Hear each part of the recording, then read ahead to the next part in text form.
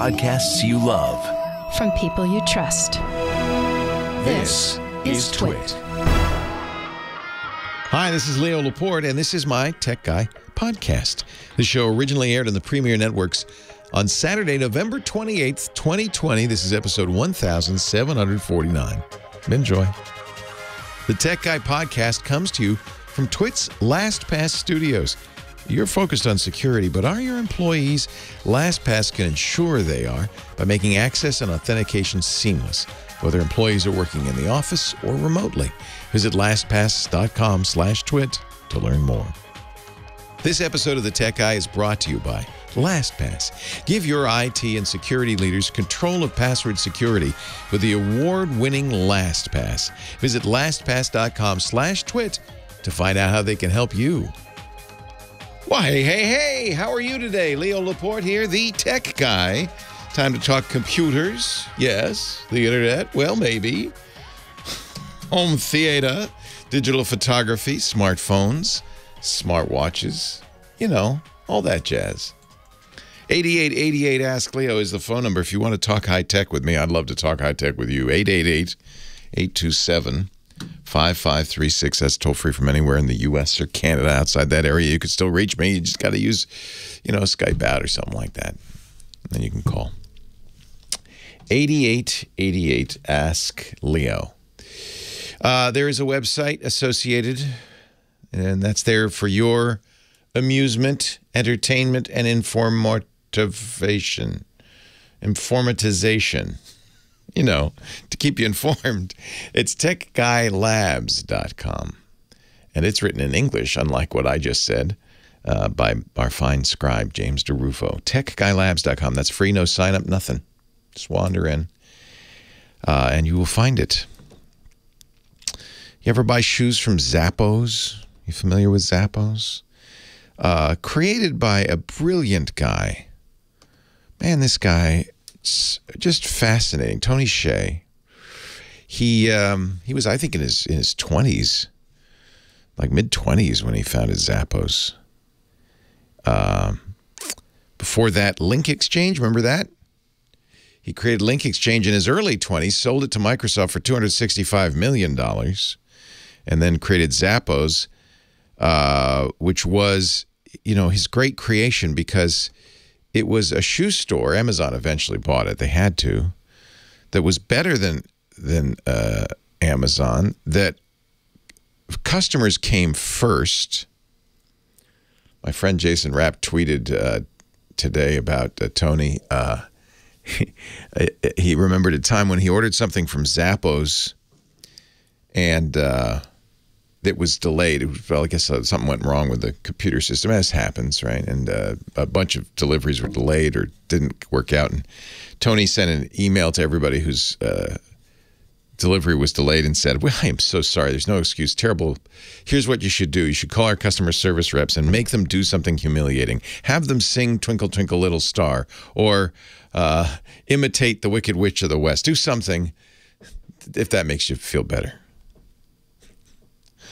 He grew up in uh, San Francisco, graduated from Harvard with a degree in computer science in 1995. Um, founded Zappos, worked to transform downtown Las Vegas, and to some degree succeeded. Retired all, uh, earlier this year after 20 years at Zappos. He's only 46, young guy. Maybe he had a feeling, I don't know, because he passed away uh, this week at the age of 46 yesterday, day after Thanksgiving. so so sad. He anybody who knew uh, Tony, uh, and I only I only knew him peripherally. I remember meeting him at South by Southwest. He was driving a party bus. this is when he was CEO of Zappos. But anybody who's ever ordered shoes from Zappos knows what an amazing experience that was, and uh, and how he transformed e-commerce. Uh, not sure what happened, but it's it's a terrible tragedy. Tony Hsieh, uh, so young. So I hate to begin on a sad note, but uh, I think I th I think it's important to mention this guy uh, because he was he was really uh, to many people in Silicon Valley a mentor, a leader, an inspiration. He was a Um, really important guy that probably a lot of people don't know he existed. But uh, but but in Silicon Valley, we knew. We knew. Ah, sorry to sorry to bring you down. Cheer you up. I hope you had a good Thanksgiving.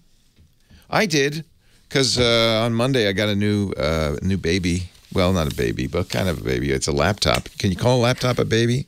It's my baby. It's the new M1 based Apple Silicon based MacBook Pro. Been playing with it for a week. just couldn't, can't take my eyes off of you.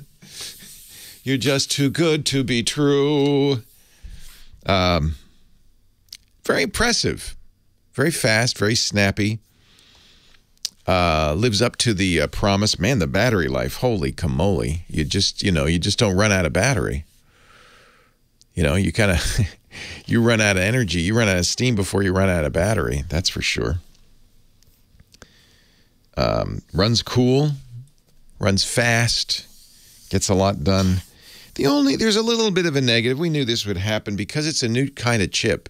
It's not an Intel chip. This is Apple's first uh, foray away from Intel, which which the rest of the industry uses for their computers, uh, into its own chips that it's designed itself, just like it does on the iPhone and the iPad. And so that's a you know when you do something like that, that's a big deal. That's a big deal because you got to get all the software to run. And of course, Apple's software, including its operating system and everything, run beautifully on this M1 chip. But uh, and then they put in a little uh, what they call an emulation layer. They call Rosetta 2. That uh, if you have an Intel program, you can generally it'll run pretty well, and it, and they do. In fact, in some cases, they run better than they would on an equivalent uh, Intel Mac laptop. Many cases, most cases. There's a little disappointment in my heart because a lot of the weirdo stuff that I use doesn't work at all and it's mostly uh, development stuff, programming languages and command line tools, weird stuff that probably Apple doesn't really, you know, they they understand that's you know they're going to leave some of that behind. But it's kind of it's a little sad for me because it's a, it, it's kind of a change. I guess this was inevitable. Uh, the, it's a fork in the road for personal computing, and we're actually heading into a even larger shift in the next year. Uh, in 2021, Microsoft's going to do uh, uh, release something they call Windows Virtual Desktop, WVD. And terrible name. Okay, I admit it, awful name, but I'm sure they'll come up with something better because WVD doesn't sound like something you want. But uh, the idea is instead of having a Windows machine on your desk, uh, you have a, uh, anything machine, anything that run a browser, Chromebook, whatever, a thin, what sometimes they call it a thin client. It's not a powerful thing, but it runs Windows in the cloud. Your your Microsoft Office, your Microsoft Windows, your apps are all living on a server out there, and you're uh, streaming it like you would Netflix to your computer. Gaming's already doing this. Google's done kind of an interesting thing with gaming called Stadia. Microsoft's doing something called xCloud. Sony uh, has been doing this for a while. Nvidia, the makers of the graphics cards, have been doing it, and it's it's very it's really interesting because it's um uh, it means you don't have to have a very powerful machine. You could even use a mobile device to run Windows. So that's one fork in the road that we're headed towards, and I think really uh, for people who use Windows that's going to be kind of the dominant way it's it's used. It takes time. These things take time. Remember um, years ago I said, "Oh, don't buy CDs. It's all going to be digital." Well, it's taken time. Still, people still buy vinyl records even, but for the most part, your music is streaming. More and more of your TV shows are streaming. Pretty soon, your computing will be streaming, and that's where Windows is headed for a variety of reasons. Uh, Apple's gone a different route. They've made a consumer appliance that's super fast, super slick, and it is a powerful computer on your desktop. But it's a it's an appliance nonetheless, and so it, works great if you use the you know prepackaged tools they expect you to run. And I think over time these are going to get even faster. This is just the first one. Uh, already rumors of a new uh, series of MacBooks with a new chip dubbed by some the M1X that will be, you know, even more impressive. But that's what's interesting in the Intel world, in the Windows world. Doesn't matter what you've got on the desktop; it's what matters up in the cloud. So Apple's kind of making this, uh, uh, I don't know, very fancy, beautiful, elegant, super speedy, super great battery life computer. That's that's a, it's kind of a fork in the road, right? It's a different direction. And then there's a third fork in the road, which is people who are developers who write software who want to do hardcore stuff, and they're going to probably end up using Linux computers on Intel. That's a small slice, but it's an influential slice because they're writing the tools everybody else is using. A lot of students studying uh, computer science, things like that. So now you have these kind of three roads that are leading farther, diverging farther and farther apart in computing. I guess you could include a fourth road, which is what they call computing at the edge, your Internet of Things devices, your your smart TV, your smart doorbell, your smart microwave oven. Those are computers too, but they're not, you know, they're purpose-built Internet of Things devices. So four really four big shifts in computing in different directions. I think you're going to see, uh, you know, Apple probably do glasses. You'll see computing in your glasses, your earbuds, computing at the edge. It's very, and they all have different uses and different purposes. We've come a long way from the early days when it was just, you know, this this piece of hardware on your desk that did stuff. It's very interesting. Anyway, uh, my, my impressions of this new Mac, uh, and uh, I think of future Macs, are really, really beautifully done, elegant. But maybe, maybe uh, an idea whose time has gone, possibly. Huh? 8888 ask Leo. That's the phone number. We can talk high tech. I'd love to whatever you're interested in. You know we're we're you know we talk about these highfalutin ideas but it's still can I get my printer to work? That's still what most people care about and that's what we'll talk about. 888 827 5536 hope you had a lovely Thanksgiving. Nice little break. Now it's time to get back to work. Ladies and gentlemen, boys and girls, children of all ages, join me now with a polite golf clap for the unbreakable Kimmy Schaffer. Hello, Kimmy. Good uh, day. Good day. Did you have a lovely Thanksgiving? Yeah. Did yeah. you have a turkey? I had a turkey. I had my traditional uh, lasagna because I don't like turkey. I like lasagna better. Um, yeah. Yeah. And just, you know, nice. very intimate. Just you and your mom and dad? No, me, mom, dad, brother, his woman and um, my one aunt, and outside because he's got a big acre property. Oh, so we were so able we're all to outside. set tables Yeah. outside. Yeah. Nice. Throw dinner rolls at each other. And it wasn't too cold. We had a kind of no, a it was a mild day. Yeah, Yeah. nice. I was a little afraid. You know, we didn't. We were thinking of doing that, and then we decided, in light of the CDC's recommendation, just to have a quiet pod Thanksgiving. Well, that's you know that's kind of been our pod too. That's your pod.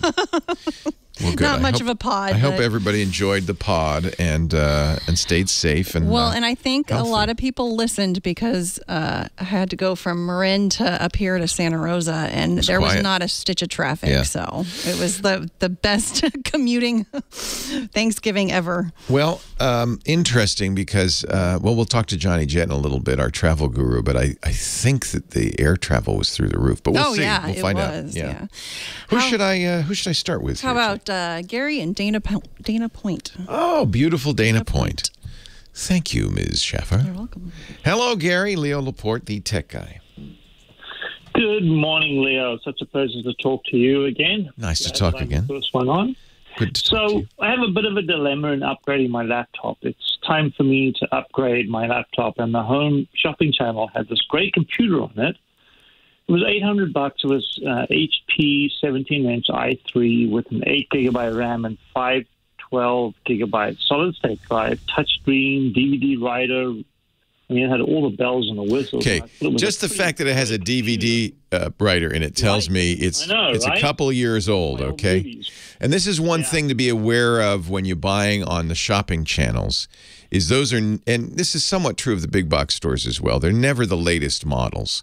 So you know what I would do is go to hp.com and just compare before you buy it um, to make sure that it's a you know that's a reasonable price and it's not too out of date. For instance, that i3 processor, which I generally don't recommend to people, uh, it might be not. You know, did they say what generation? Of course, they didn't. It's sixth generation, seventh generation, eighth generation. Yeah, I don't know, but my dilemma now is they've come up with an even better one, an HP 15 with an Intel 10 generation i5. Yeah, there you go. That's a little. That's a little bit better. You want tenth generation if you can get it. Yeah. But it has a two terabyte hard drive as opposed to solid state. I know that you. Ah, yeah. That. What's what's your thoughts on that? Yeah. Spinning hard drive. Yeah, I'm not crazy about them. Uh, honestly, that's going to slow you down more than you think. And while it's a much faster processor and probably a later generation, I don't recommend buying from the Home Shopping Channel. I would, I would, I would look. Uh, I mean, if you got an amazing deal, okay, but in general, you're not gonna get an amazing deal.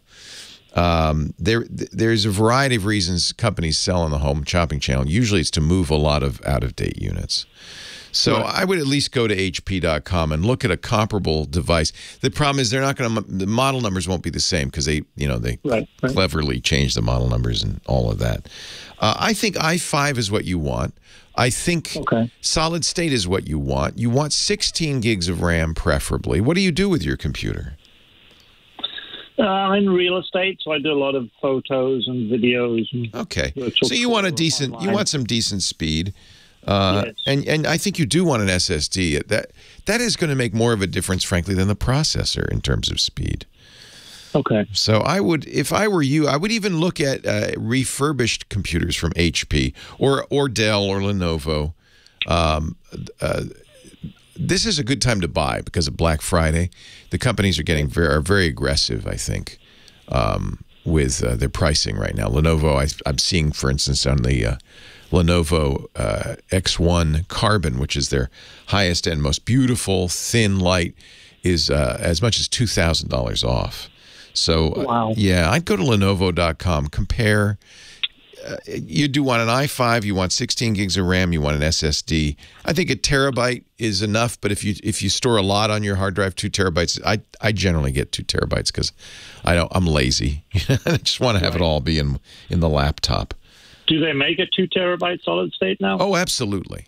I'm looking at one. Though, right? Yeah. Uh, they're getting less expensive uh, all the time. Um, and in fact, that HP might be, it might be, might not be easy to replace the uh, spinning drive with an SSD. Um, but it's hard to tell because, again, that model number probably isn't a real HP model number. So you can't go to somewhere like iFixit.com or YouTube and get videos.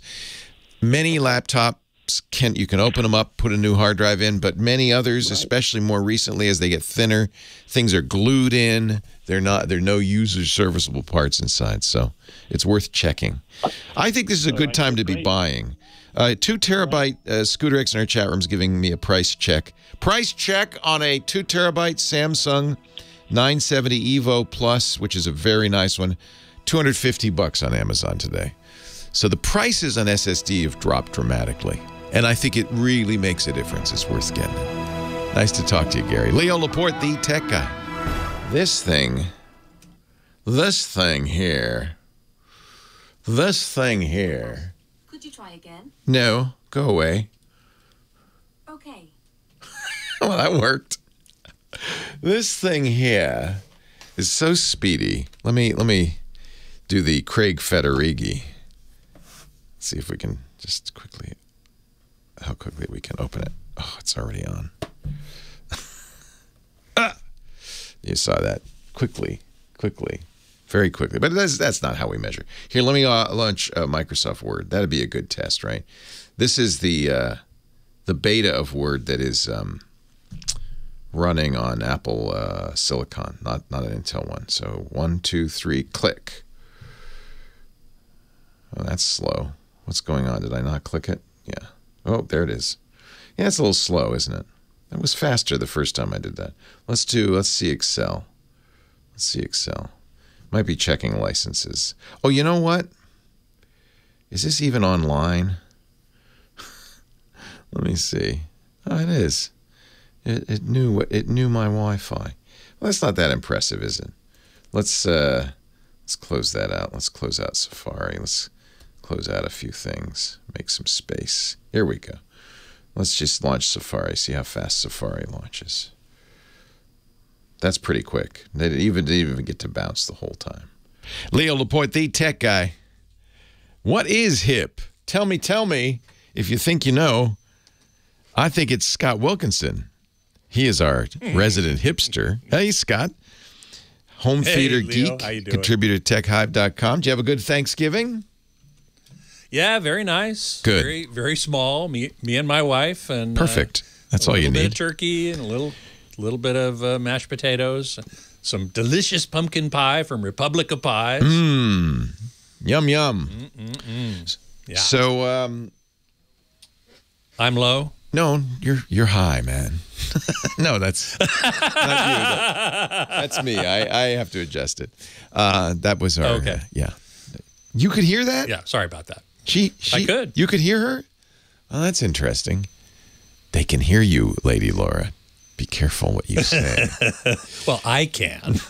so I imagine a few people took advantage of Black Friday deals. Hey, oh, before we get into that, let's we forgot last Yeah. week.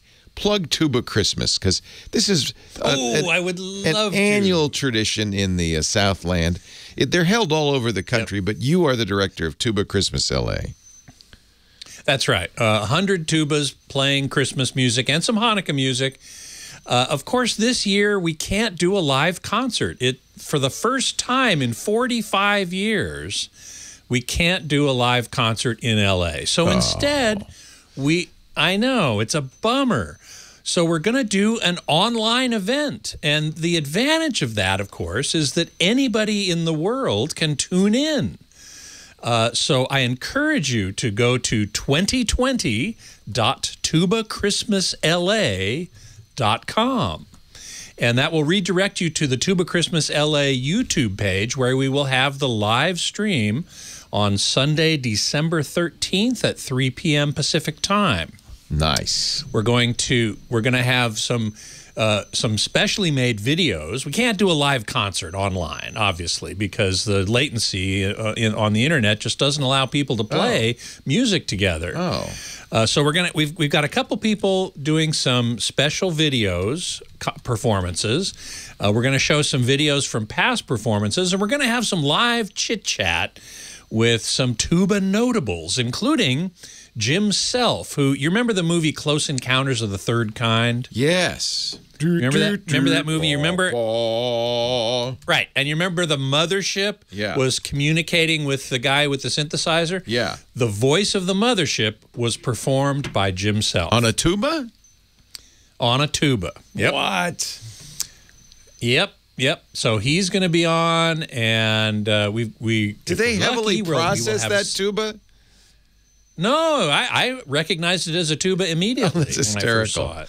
Oh, that's hysterical. Yeah. So Tuba Christmas LA, everybody this is great because you've mentioned this in years past, but you had to be in the LA area to see it. You had to be in the L.A. area, Yeah. exactly. Yeah. So that was that. You know, that was great. A live concert is great. Don't get me wrong. Next year, hopefully, we'll be able to do a live concert. But this year, we're doing it online, and you all you have to do is go to 2020.tubachristmasla.com. Oh, hey, li- listen you, to that. You never heard you never heard Deck the Halls until you heard 100 tubas playing it. Is there anything but tubas? They're all tubas? They're all tubas. We I don't allow anything but tubas at Tuba Christmas. There's Scott up front with the baton. That is awesome. That's right. Do you do you wish you could play in Tuba Christmas? Oh, I've I played for many many years in Tuba Christmas before Jim Self, who was the director before me, handed the baton over to me. He had done it for 35 years and said, "Okay, I've had enough. You want to do it?" Wow. And I said, Wow. "Sure, I'll What do fun. it." How many people show up at that's a big hall there. Oh yeah, yeah. We we get 800 to 1,000 people in the Holy audience. cow. Wow. well, I'm sorry you're not. It's a doing it 1,200 live. seat auditorium. But in a way, there's a know, blessing because everybody can participate this year. 2020, Yeah, yeah. 2020.tubachristmasla.com. And uh, you'll find the Correct. YouTube Go and channel. subscribe to the YouTube channel and click on the little bell icon. You'll get a notice. You'll get a notification Oh, good. uh, when the when the show's about to start. So, you, it's so it will be, kind of a live fun. show. Just It will. It will. You have to be there at the, The time. The music will be pre-recorded. Yeah. Yeah. The music will be pre-recorded, but the the sh- but the the show itself will be live, and I'll be live with with a bunch of people actually. Fun. uh, different people, uh, including a guy who has attended every single Tuba Christmas LA since it began. when he was a kid, he started. When did it and now he's bringing his kid. Holy cow. It began in 1976 in Oh, LA, my. 1974 My. completely. That's wonderful. I know, I know. It's amazing. All right, now we can talk about TVs and Black Friday. Now we can talk about and all that. TVs. Yeah. And you know what? I wanted to mention uh, there were a ton of Black Friday TV deals. Tons. Best Buy's first 10 pages or whatever of their ad were just nothing but TVs. And a lot of them were remarkably inexpensive. But I noticed as I was looking through them that a lot of them were the very low end TVs of these various companies. This that- is this is so are- important to remember that uh, it's like the- the last call when we were talking about the laptops they're selling on the home shopping channel, or when you see them Yep, in a big yep, box yep. store. But most especially Yep. the doorbuster deals at Black Fridays. They these are not typically the top of the line or even the most recent Correct. models. Yeah. Right. Or the or the most capable. And most of them we talk about LCD TVs, which is the majority, that are what are called edge lit, which means that the lights that illuminate the picture are around the edges of the screen. And it's But- simply not a very good way to do it, but it's cheap. But it's cheap, and so I I mean not everybody can afford to spend a thousand dollars on a TV. So if you see Well, that's true, but you don't you don't have to. you don't have to. Yeah. No, uh, the, the the the brands that I recommend uh, for for low cost are TCL. We've talked about that one quite a bit, and I you I, I recommend that you start with the Series Five. They have a Series Four, a Series Three, Four, Five, Six, and Eight. Don't go for the four or three. The four was on a, lot of Black Friday lists this year, and it's edge lit. Start with the five. It's a little more expensive, but it's still way cheaper than a lot of TVs. Um, Vizio, start with the M series. They also make a V series, but and that's has a backlight that I approve of, but it's not nearly as good a quality as the M series. So you want to start there. Um, Hisense is another great Chinese company. It makes very inexpensive TVs, but you you don't want to go with their H6 series. You want to start with the H8. So so there are certain things to keep in mind, and if they if these are on sale on a Black Friday sale, then by all means grab them. Uh, LG, for example, most of their sets, most of their LCD sets are edge lit, so you want to start with the Nano 90 or above. Now, I will say this any OLED TV, you and I have talked about this many times, any OLED TV is fine. More expensive. OLED TVs are more expensive Well, than some LCD TVs. Kilotech in the chat room is saying Vizio has an OLED for nine hundred bucks. That is Correct. more expensive. Vizio just more expensive than their LCD TVs, but less expensive than LG or Right. Sony. right, and still would be the good. Same panel. Oh, okay. And still would be great. Yeah. Absolutely. Any OLED TV is superior, in my opinion. The only drawback is it's not as bright. So if you need super bright, then you want to go LCD. But if if you don't need super bright, OLED will give you a better picture every single time. All right. So I understand people Um, have so- limited funds. I mean, goodness knows. Uh, well, sure, especially these days. and yeah. and I don't want you to overspend, but sometimes you can also No. underspend. And so you know what we'll do is we'll all the. I, I hope James was writing that all down. We'll put all of Well, I've got a list too. I'll send it to you. would you send it to send it to me and James DeRuvo, and that way we'll put it on the Sure. website because you did this last Yep. year, and then people will at least know Yep. what model numbers they want to look at if they can afford it, and if not, you'll Correct. understand what you're giving up. And don't forget exactly. December 13th, 3 p.m. Pacific, 2020.tubachristmasla.com. Scott Wilkinson, thanks for joining us. Leo Laporte, Thanks a bunch. the tech guy.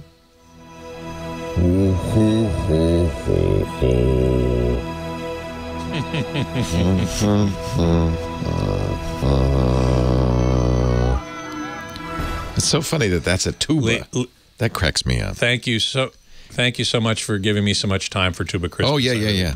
Now I noticed you hesitating. Is there some air, issue going on with you in audio, or is there anything?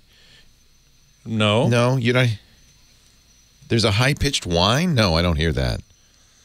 See, I don't hear that either. John and I were testing the about 10:30 this morning, and he he heard a high pitched whine. He even recorded and sent it to me. I didn't hear it in my in my feed, my feed, and I didn't hear it on that recording. I didn't hear it at all. Stop talking for just a second. Let me listen. No, there's no high pitched whine, John. There's a. I've got my I've got my It's local to you, John. High. It's local to you, John. It has to be. It's in the recording. Oh, I hear it now. Now it stopped. Yeah, it's like a teapot. Is there anything in your hear it at house doing that? No, I hear it. But it comes and goes. It's not all the time. No, no, it's in his house. That's coming through the mic. I hear it through the mic. Really? Mute, mute your mic. I've- I've mute your my- mic. Okay, hang on. It's part of the background noise, I think. Yeah, it's coming through your mic. Okay, my mic. it's like a back it's like something in the background. I've got my my overhead. No, no, no, no, no, no. It's like a teapot. It's not. It's not. It's like a little. It's like a little alarm or something. I'm not. I'm nowhere near the. no, no. It's distant. It's distant. I- It's in the another part of the house. Okay, well, I got my door closed. It sounds like a whistle. So well, that's it's words, distant. It's a I- low whistle. It's like a. If I don't, if I turn, I'm going to turn my mic off Okay, right now. we hear nothing. And now my mic's back up.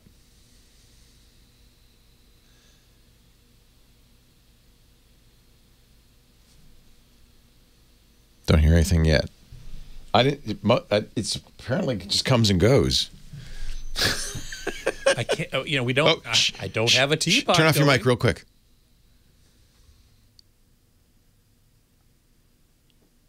No.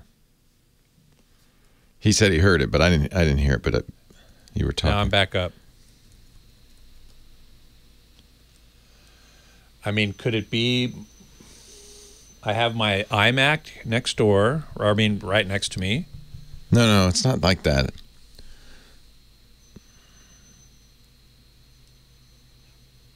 No, you hear it right oh, now. Oh, I know what it is.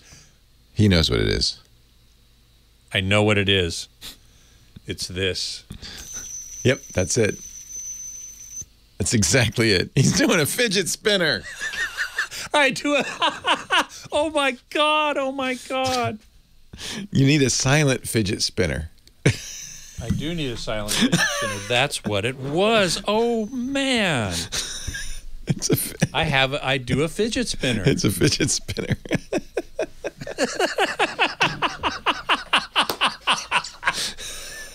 God. That's hilarious. Uh, what is it? What is it? What is it? What could it be? Oh my god.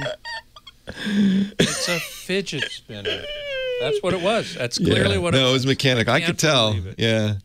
Okay. Um, do you want to stick around for the top of the hour? We've Oh, used sure. we've used up all your time with the fidget.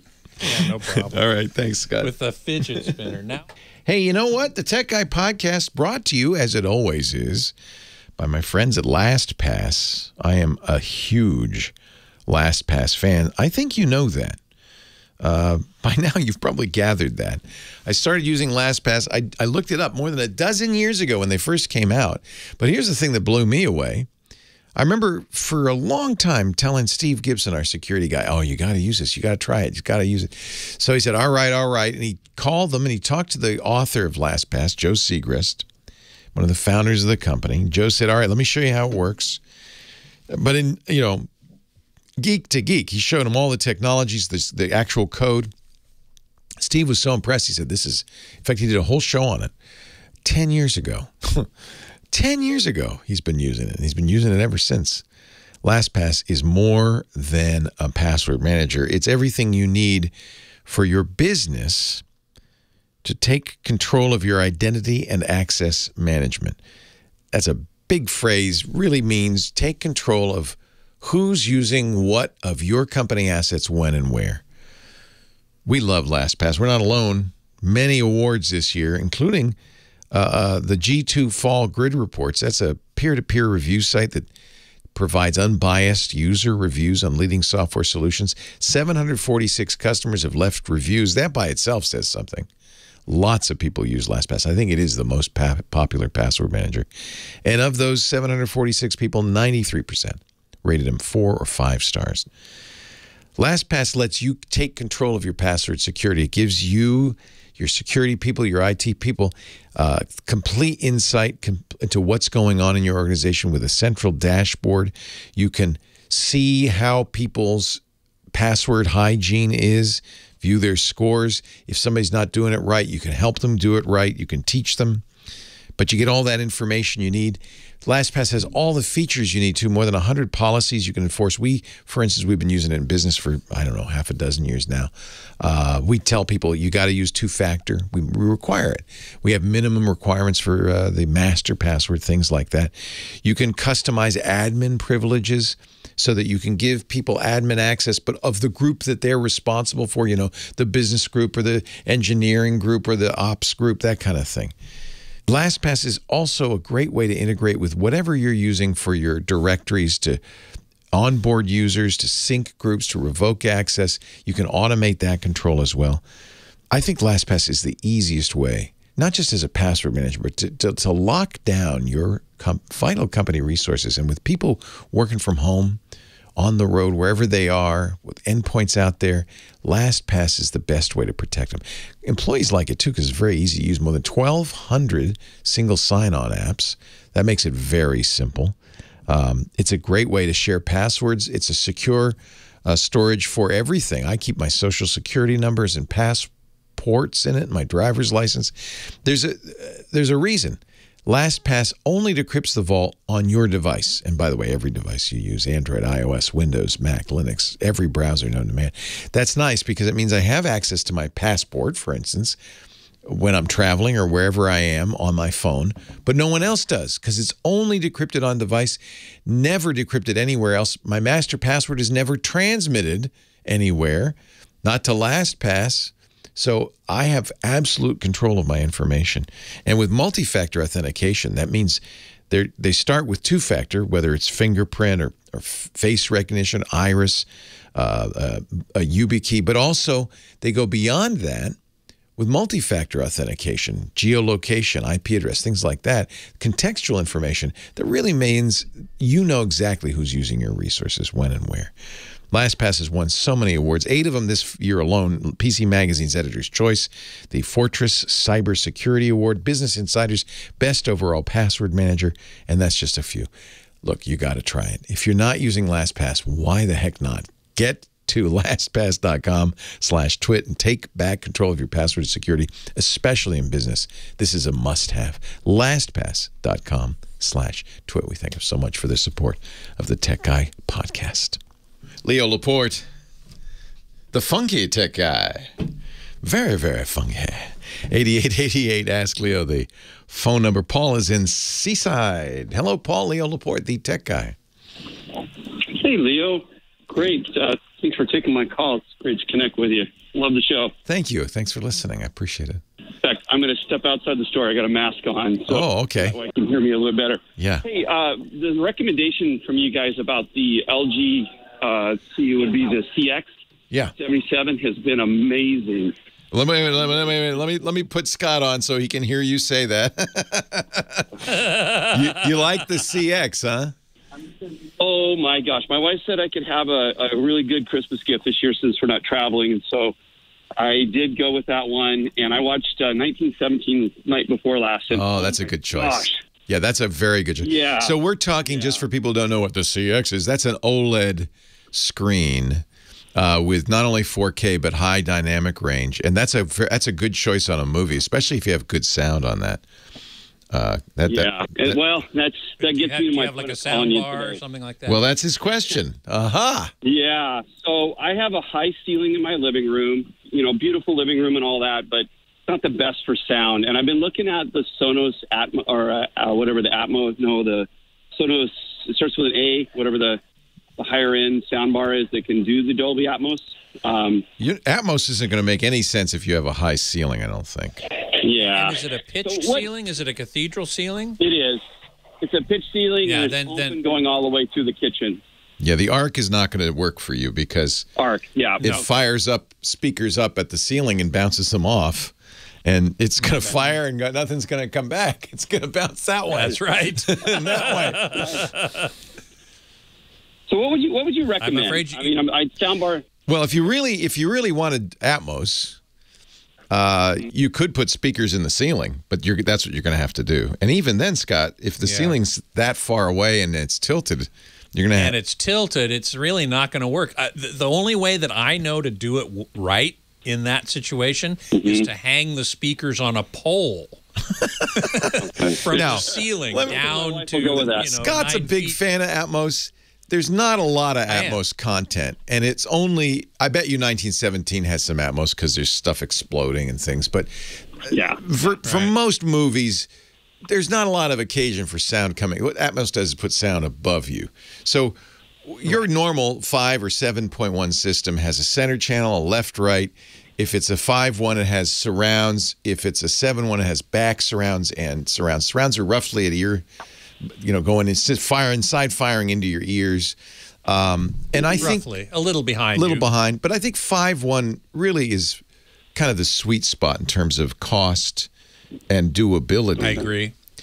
The surrounds are a little And if you tricky want because you got to have wires going to the back of your room a little bit, Yeah. Not if you get a wireless surround system. right? And Vizio has a good do. sound bar with with a wireless surround, doesn't it? Correct. Correct. And sub and subwoofer. You you definitely want a subwoofer. Okay. Subwoofer makes a huge difference. Okay. Yeah. And You'd recommend them over a, a Bose or a Sonos? Yes, Yeah, I would. the Son- Certainly less expensive. Sonoses are really that arc is seven ninety nine. That's a lot. You can get the whole Vizio system it for is. that. Yeah, Okay. Yeah, yeah. Any, any model of the LG that you'd recommend? the uh, Vizio. Y- You mean the Vizio? Yeah. Uh, yeah. Yep.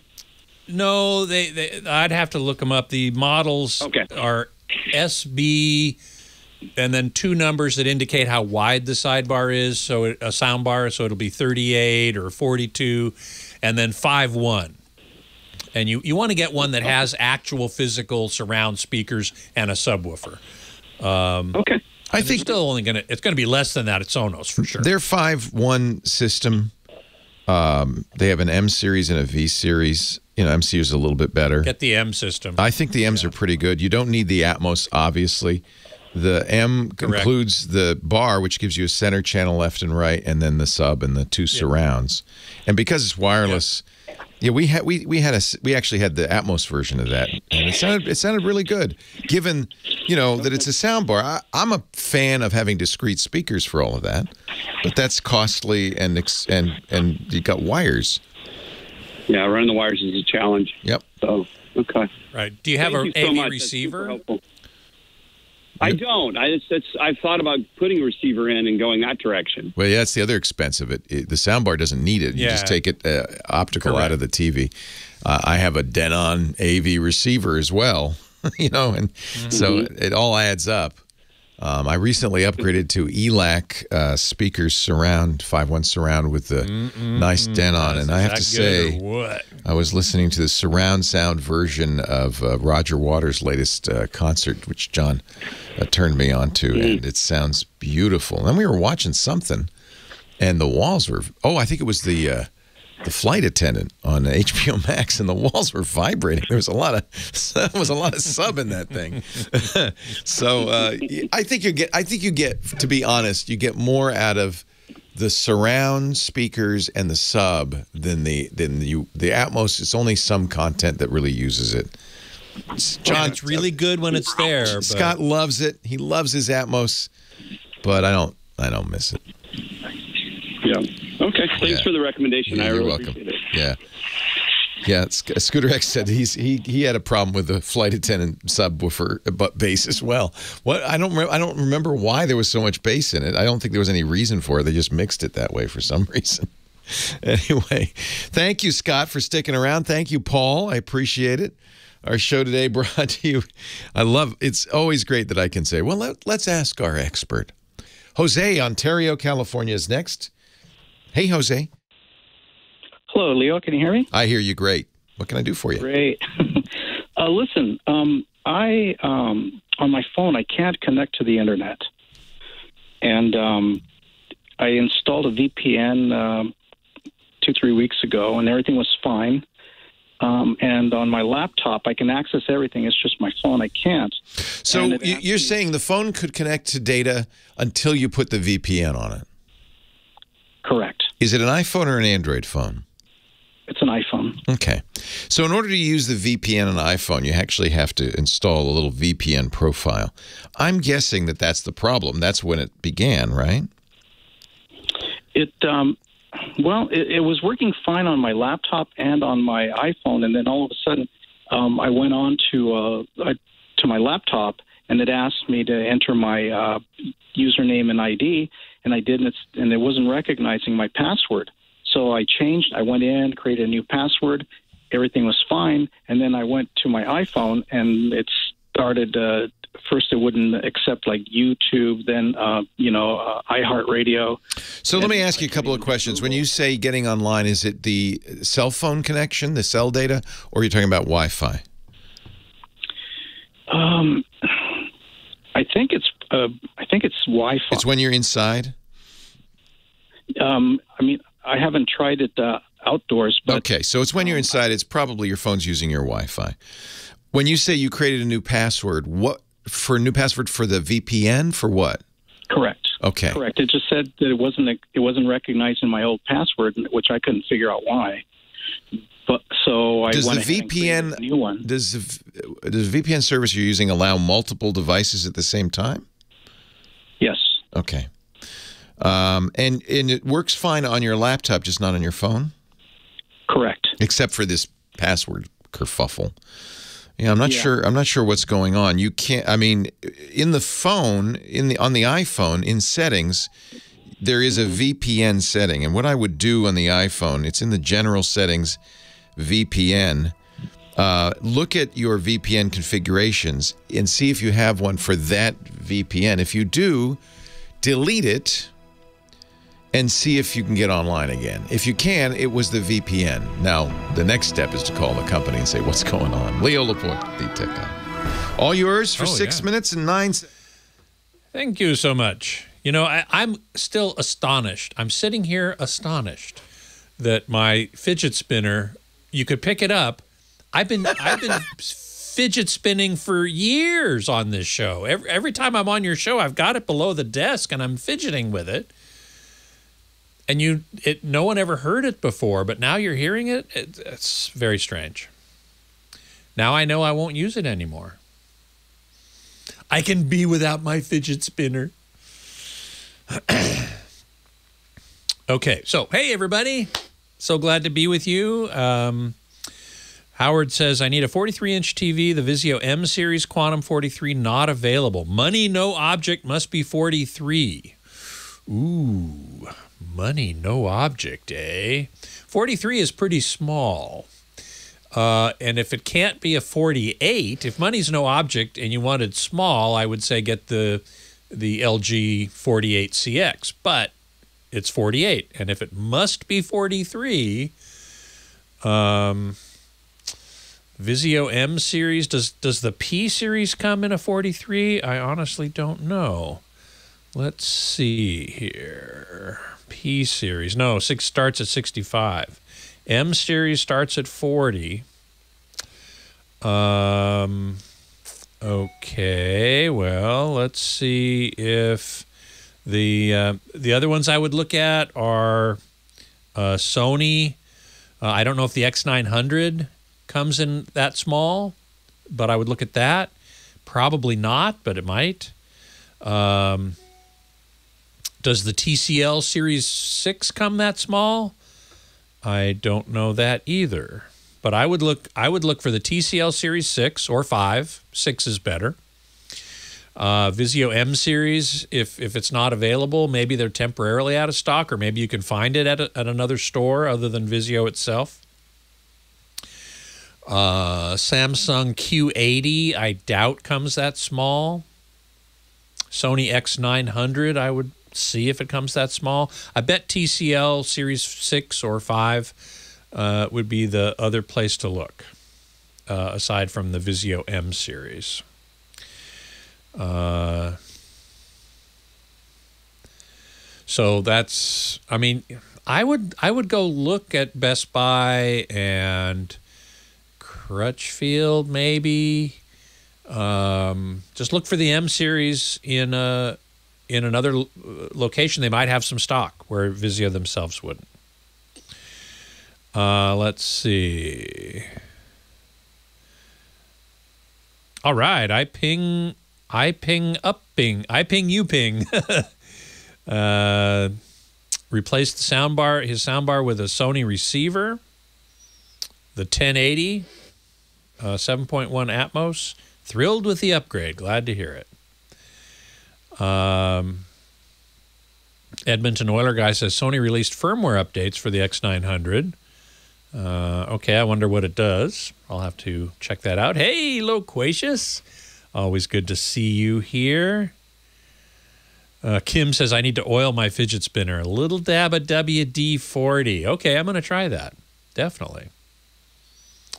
Uh, Zufai says, uh, Element TV brand.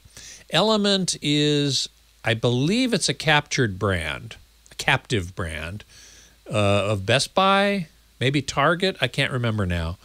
Uh, any captive brand like Element, Insignia, Spectre, or Scepter, I forget, I think it's Scepter, uh, are going to be the lowest of the low end. So I generally wouldn't recommend them. Sorry to say. Jamie says uh, only young ears can hear it. Well, I'm, that's not entirely true, I suppose. Um, Beatmaster, wouldn't hanging Atmos speakers create secondary reflections from the angled ceiling? Uh, yes, yes, but that would be minimized if the Atmos speakers that you hung up there uh, didn't didn't have a rear port, for example. If they were ported, but the port was in the front, uh, yes, sound radiates spherically from all speakers, but uh, some are more directional than others, uh, especially sealed uh, sealed boxes or front ported boxes. So it wouldn't be that big a deal, I don't think. My ELAC uh, surrounds have por- two ports. Yeah, on the front or the back? Well, they're on the side. So the front's here, On the and they're on the side. I don't know if they're supposed to be up firing, but the way I have them is lying on their side, so they're firing kind of into nowhere. Does that matter? uh, the ports, you mean? Yeah. As long as the ports aren't right up against the wall. No, they're not. They're firing into the room, well, kind of sideways.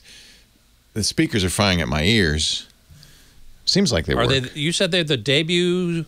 No, it, it's debut, but it's their. Uh, they have wall mounts for um, the surrounds. I gotta run it. Oh, and you, those what you have. those are ported. Yeah. Everything Okay. else is ported, but it's ported, you know, in a, sensible way. But because those are In a lying, reasonable way, those are yeah. lying on their side, so the ports are firing kind of toward the TV. But it doesn't matter, right? The port is just. Anyway, I gotta Yeah, run. as long as the port isn't up against a wall, Right. you're fine. Yeah. Thank you, Scott. Have a great week. Well, hey, hey, hey. How are you today? Leo Laporte here, the tech guy. Time to talk computers, the internet, home theater, digital photography, smartphones, smart watches, travel. Johnny Jet, our travel guy, coming up in half an hour. Biggest travel weekend, I believe, or week since the quarantine began. Uh, what does that mean? Johnny will talk about that. Cruise ships are they coming back? There's there's there's some travel news. Some travel news. 88 88 Ask Leo is the uh, phone number. Ed's on the line from Huntington Beach, California. Hi, Ed. Yeah. Hi, Leo. How's it Welcome. going? Welcome. Uh, it's going great. How are you?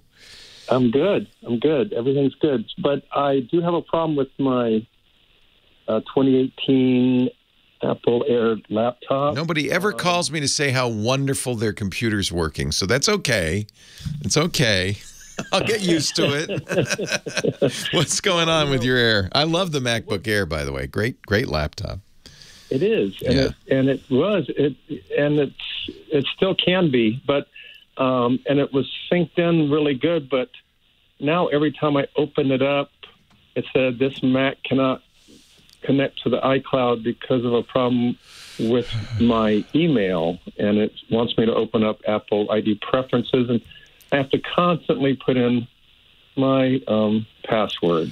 So, So you're logging in and it's and it's logging in properly, but it, then it forgets it or something goes wrong with it and it it has forgets it. yeah. It forgets it, and it even sometimes I have a VPN, and sometimes it asks me to re put in my password for my VPN. So I'm just wondering, is there such a thing as a virus that can get in? Somebody's looking at me and trying to get my password. Yeah, but that's not well. No, Apple's. Uh, this is a known problem. uh, I thought they had fixed it. I used to have this problem. It would ask me for my iCloud password again and again and again, and I found that very annoying. Um, and then it went away, and I thought Apple had fixed it. So this is not unusual. Do you have? You don't have two-factor turned on? I don't think. It sounds like it doesn't say. It, it doesn't. I don't have two factor Okay. where it has to ping my phone uh, because I have an Yeah. Apple iPhone also. Yeah, you know, the two factor on the Apple does a weird, it's not the normal two factor we're used to where you look up an authentication code. It actually sends you a code to another Apple device. And it also shows you on the map where you're logging in from and stuff. I wonder if the VPN is is making it think, hey, this guy keeps logging in from Czechoslovakia. Is that him? Oh. So- Oh. So remember, VPNs are going to make you appear to be coming from another locale. Oh. And I'm wondering if it just depends on the VPN. Some VPNs might move you around uh, without your knowing. I'm I'm using the Tunnel Bear. Yeah, I would. I would. Um, I would at least for a while turn it off to see if that's causing the issue. Okay. Um, it could be, you know, Apple's pretty good on security. In fact, they're very good on security, and they're very. Uh, I think sometimes some people, I often feel too secure. Uh, but can you be too secure? Probably not. And uh, I think when Apple's asking you for its password again, it's because it's something has happened. Uh, and, and I would start by by checking and because you might your location might be jumping around, right?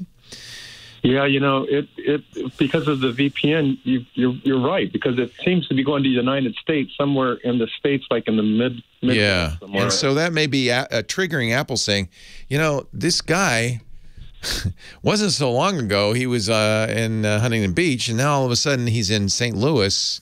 I don't know about this. I don't know what's going. So it could be to protect you.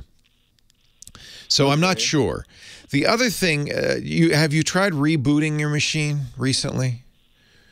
Well, I, I do a restart. Do, do I? yeah, that's a reboot. That's fine.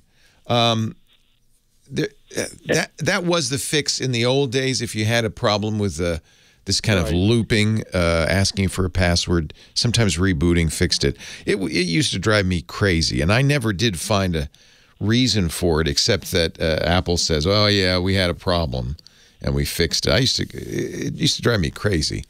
Um, that you just I mean I just logged into iCloud. How many times do I have to log into this thing? So, but I would try turning off the VPN just to see if that's triggering it. A lot of times uh, that re-login is because you know it it sensed something some security issue, and it's and it's wondering what's going on. I you know I don't know. Tunnel Bear is a perfectly good VPN. I don't think there's anything wrong with Tunnel Bear, but it may just be the nature of it is is uh, causing Apple to go, hey, what? And, and and my iPhone, I have an iPhone 10, and it's also the mail has quit being synced up. So now my iPhone's asking me to put in uh, the, the password all the time too. So it's Yeah, yeah, but but it's the same password. Nobody's changed it, right? It continues to work. right. It's the same password. I Yeah. haven't changed the password. I would, I would. Uh, the other thing you can do is go in your web browser to iCloud.com and log in and make sure everything's okay there. And where's that at? Just go on your bra- any browser to iCloud.com. Oh, okay. And you can log in directly as a, as a web page into it and just see if that's working okay. Um, Okay. Yeah, and it might. I, I don't. I, I I hesitate saying turn on two factor because that make it may make it worse, but it also may make it. It certainly will make it more secure. Um. So But I don't need to go to the Genius Bar down at the Apple Store, right? I wouldn't yet. I would try turning off Tunnel Bear first. Okay. Um, and then there is, I'm looking at a page on the Tunnel Bear Help um, talking about some issues with iOS. I'm wondering if there are, you might might go to help.tunnelbear.com and see if there's some specifics to having problems with iCloud. It might be there is Okay. some issue there. Okay. Well, I sure appreciate that, Yeah, Leo. my pleasure. You're always a wealth of information. So Thanks, thank Ed. you My again. pleasure. Yeah. I love the, you know, that's the Apple's best selling product, a best selling computer product. The iPhone easily outsells everything. But for uh, for Mac OS, uh, that MacBook Air, it's a fantastic. They released another one earlier uh, this year, and now they've released one with this new chip. I have to say, having used it, uh, the new chip, I love it and everything.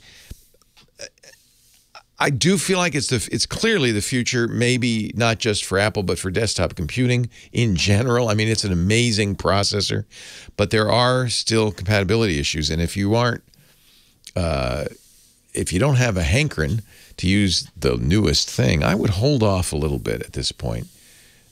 If you cannot buy a new computer, I would wait, and uh, partly because the next generation of these will be even better. That's one reason. But also, it's going to take a little while for developers to catch up. This always happens when you get a new processor.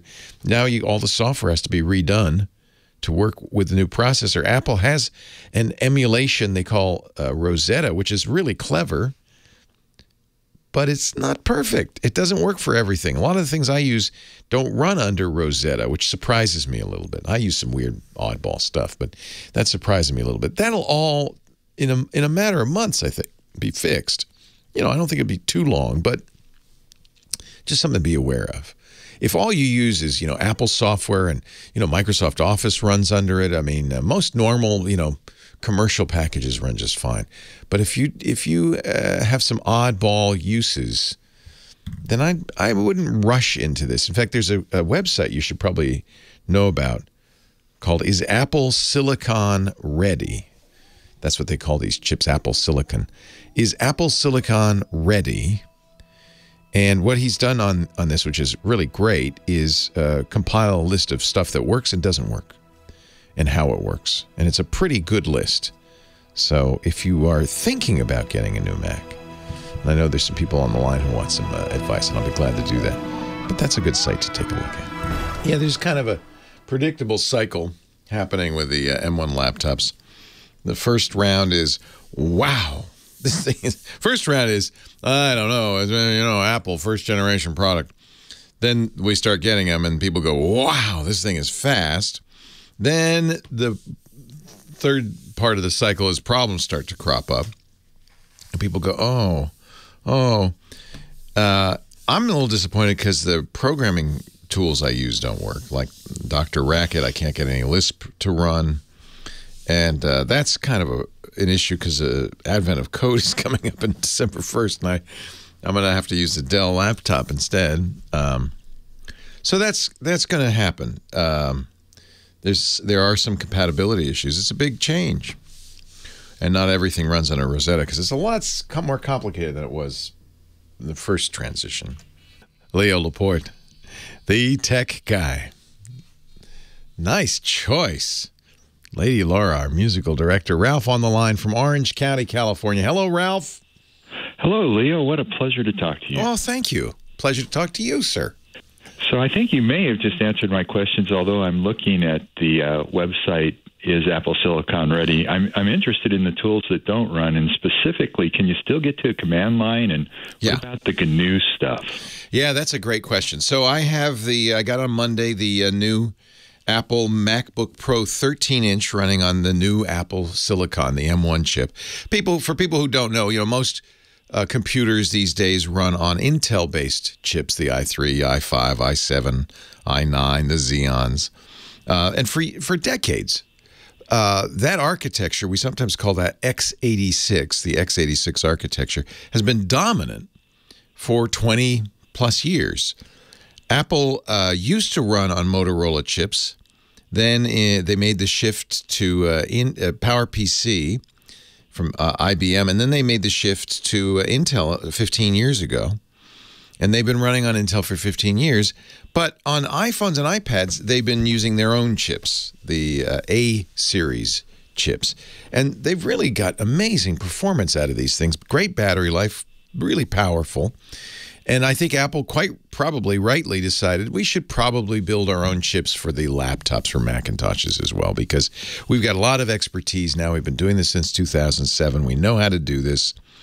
And we can make chips that are designed specifically for our software. And there's a lot to be said for that. They're optimized to run Mac software.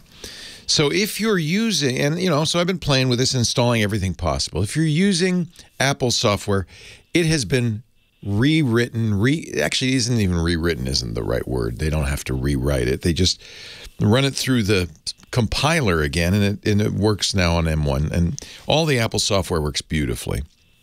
Is much faster, much quicker to load, much quicker to run. I mean, we're talking sometimes twice as fast in some cases. So there's a that's amazing. And the battery life on this MacBook Pro, it's it's just I haven't been able to run it out. I mean, it's basically at minimum if I'm working it really hard 9 hours and more likely 15 to 16 hours, which is more than all day for me. So battery life is remarkable. It doesn't get hot. The fans never come on.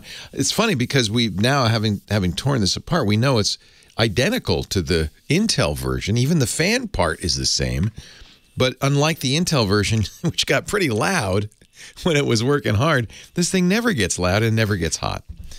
Uh, I was able to warm it up a little bit running a giant motion um, uh, rendering, which is a 3D rendering program Apple does, uh, for two and a half hours. It got kind of warm to the touch, that's all. But you mentioned the really what's going to be for some people a showstopper and a weak link. You mentioned the command line and the GNU utilities, the command line programs. A lot of them don't work. They will. Uh, even if you try to compile it, there are other issues involved. If you try to compile it yourself, it's a problem. For instance, I can run Emacs, which is the editor I prefer. I can run it uh, as a under Rosetta as an Intel app under emulation, and it runs beautifully and fine. But I like to use Emacs for software development, and I can't get a, a lot of the a lot of the languages I want don't run. It comes with Python, it comes with Perl. Python 3 is on there. So Apple's putting in a lot of the tools that uh, it knows you want. Xcode comes with Git and curl and a lot of the tools you want. So I would say probably it depends a, a lot on what you want to do. Um, and that's going to be really for the next six months. People on the edge, people who do weird things, are going to find this to be a little bit less desirable. But people who uh, are doing mainstream things, even photographers, you know, Adobe Lightroom is going to be native. Photoshop is already out in beta, native. Uh, Darkroom and Affinity Photo are excellent. Um, those are native. Uh, I was able to edit photos on this just fine. So most of what kind of mainstream users do is going to be just fine, if not vastly improved. What particularly do you want to do in the terminal Well, there? Mostly, I just get a lot of joy out of Me too. like Emacs and Awk and crazy Yeah, me too. like that. Awk's in there, Sed's in there, uh, uh, because Apple has a lot of these tools built in. Uh, it doesn't. It has Vim, not Emacs. Vim runs native and fine, but Emacs is a little harder. You can't compile it. Do you use Homebrew or Mac Ports, one of the package managers? You know, I'm primarily a Linux user who uh, is just kind of interested in where computing is going in the future. So it's kind of sad to hear things Yeah. going into the cloud and, and that kind of stuff. There's a part of me that I know what you mean. to keep it on my box. So Linus Torvalds, the creator of Linux, said, "Boy, I would really love to see how Linux would run on an M1 Mac, but it probably never will." What Apple has essentially done is made an appliance. And because they control every bit of the hardware and software now, they've pretty much locked it down.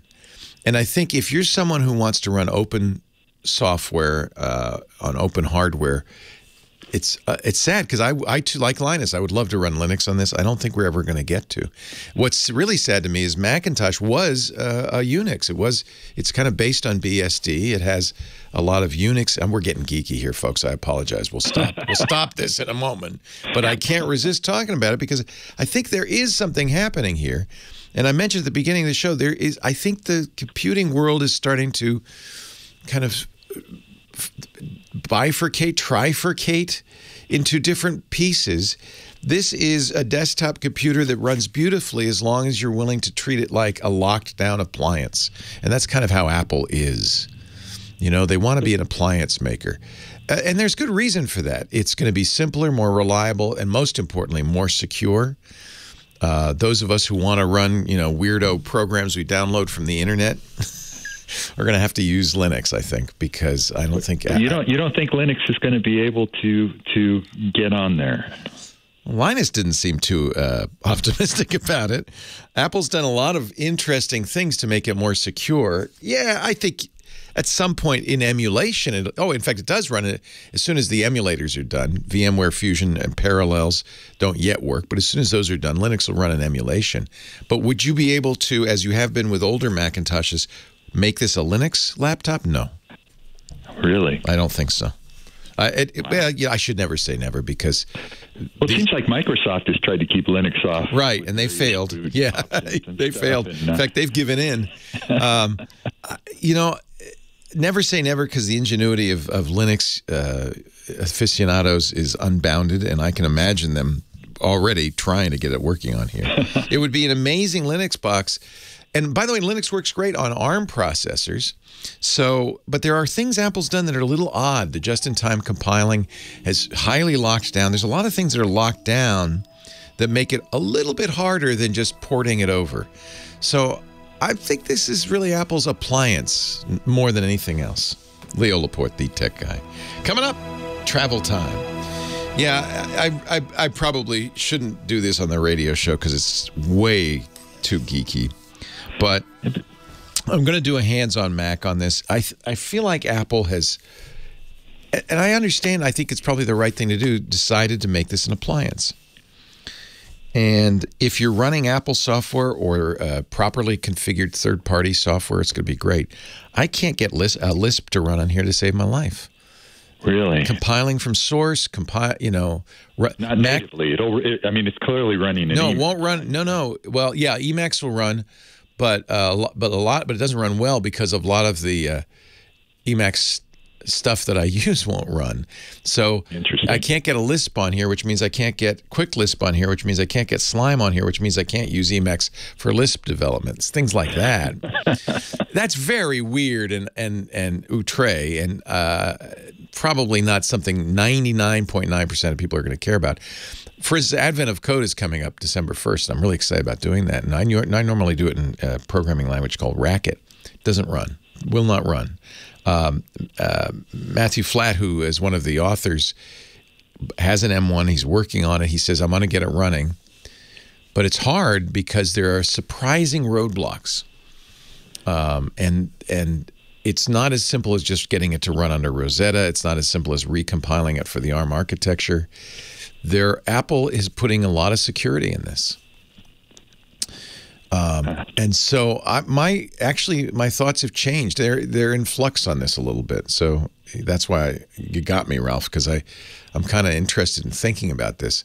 I feel like the speed and battery life on this thing is is mind-boggling. Huh. But it's it. But Apple, I believe, for security reasons, is putting up some significant roadblocks. Well, it is fascinating just to watch how the industry has evolved and yeah, and how so Yeah. many things that were developed in the '70s are still my favorites. So yeah. it's I really, uh, thank goodness you can. We still have Linux, and uh, you know, uh, Linux would be great on an M1, but it runs fine on Intel. And uh, uh, you know, my Dell, I'm using it. Uh, the Dell Developer Edition from uh, earlier this year, the XPS 13. It's spectacular, and I'm completely happy with it. So I'm just going to not be able to use. It's sad to me because I wanted this to be the all-in-one computer that I use for everything. And it's not going to be, I don't think. It's going to be the the kind of, you know, appliance computer. Yeah, I guess I don't really understand what an appliance is as opposed to computer, other than maybe you're just saying they've locked it down. Yeah. Um, it's purpose built to do the jobs that it does. It's hard to do anything outside of that. It's on rails outside of that, um, uh, you know, pathway, the mainstream pathway. And so you and I are doing stuff. You know, we want to do. We want to use. You know, uh, GNU utilities. We want, iTerm is native, runs great under M1. Love it. Uh, that's a great terminal program. Runs great. Um, a lot of the things. I think in time, Brew will work and MacPorts will work and a lot of the GNU utilities. Apple provides a lot of the GNU utilities, as I said, like Git and um, uh, curl and uh, Python 3's on here, runs fine. So, but I think a lot of the Python libraries people use may not run as well uh, or, Wow. or run at all. So that's the problem is, is and- and this may be fixed. It may be fixed. But I think really Apple doesn't see this long term. They want you to use Xcode to develop. They don't want you to use anything else. Yeah. So uh, I think that there's a there's a fork in the road. There's a tri tri fork. I don't know what you call it. hey, I have to run. It's really you got me going on this one. It's really interesting, Ralph. Um, it's it's a little disappointing. Right, I'm a little disappointed right now because, yeah, I thought this would be the perfect you know command line. But it's not. It's they're they're they're leaving behind. I think some of their BSD roots. Wow. Hey, I gotta go. Thank you, Ralph. Thank you. Take care. What'd you say, John? What'd you say? I said I've been nowhere lately. He's been nowhere, man. Johnny Jet, our traveling guy. And actually, Johnny, it's starting to heat up now. It's starting. It's not. is. What's weird because COVID nineteen is also starting to heat up. It's as bad as it's ever been. But for some reason, maybe we know more about it. I just read a, a, a number of studies that say that airplanes are probably one of the safest places you can be. They'd be safer if they weren't selling the middle seats. Agreed. That's why you got to book Delta. Yeah. But uh, for starters, a lot of those studies were commissioned by the airlines. Right. So, you know, I do believe that their air filter systems are, are really safe. But if you're sitting near someone who has COVID, Doesn't you're matter. luck. You're breathing their air. You're not Yeah. breathing the the filtered air. Exactly. Yeah. And But people are I able to get I- on planes even with uh, widespread testing uh, and and and spread it. There have been super spreader events, and then of course the airport's dangerous. The the ride to the airport's dangerous. Right. But Well, I but, was- but I- tell me, didn't the TSA? What, what were the TSA numbers this week? Uh, the TSA numbers were huge, except for today and yesterday, which is expected. Um, yesterday, Thanksgiving Day was only like five hundred thousand. Today was eight hundred thousand. But every every day this week has been almost a million or over a million. They had three days over a million people going through, which are huge numbers, the biggest since March sixteenth. Uh, so travel. People are definitely not listening to the health experts that are saying CDC just said stay, stay home. home. Yeah. They're all saying stay home. We're I mean, tired most of the it. health experts stay home. Um, but I was listening to one doctor, Jonathan, Dr. Jonathan Reiner. He's uh, the George Washington School of Medicine. He was like, listen, if everyone could just sit tight for the next few months, We're getting he really says, I really see the light at the end of the tunnel. Yeah. The I think the spring's going to be very good for us, and summer's going to be amazing. Yeah. So that gives me hope, and I do think that. Um, people are going to be back traveling, especially domestically. Uh, Internationally, the uh, IATA came out this week saying it's going to be 2024 before international travel gets back to pre 2019. That's bad Levels. news for a lot of regions that depend on tourism. It is, but one big reason is because of the vaccine is not going to be distributed everywhere.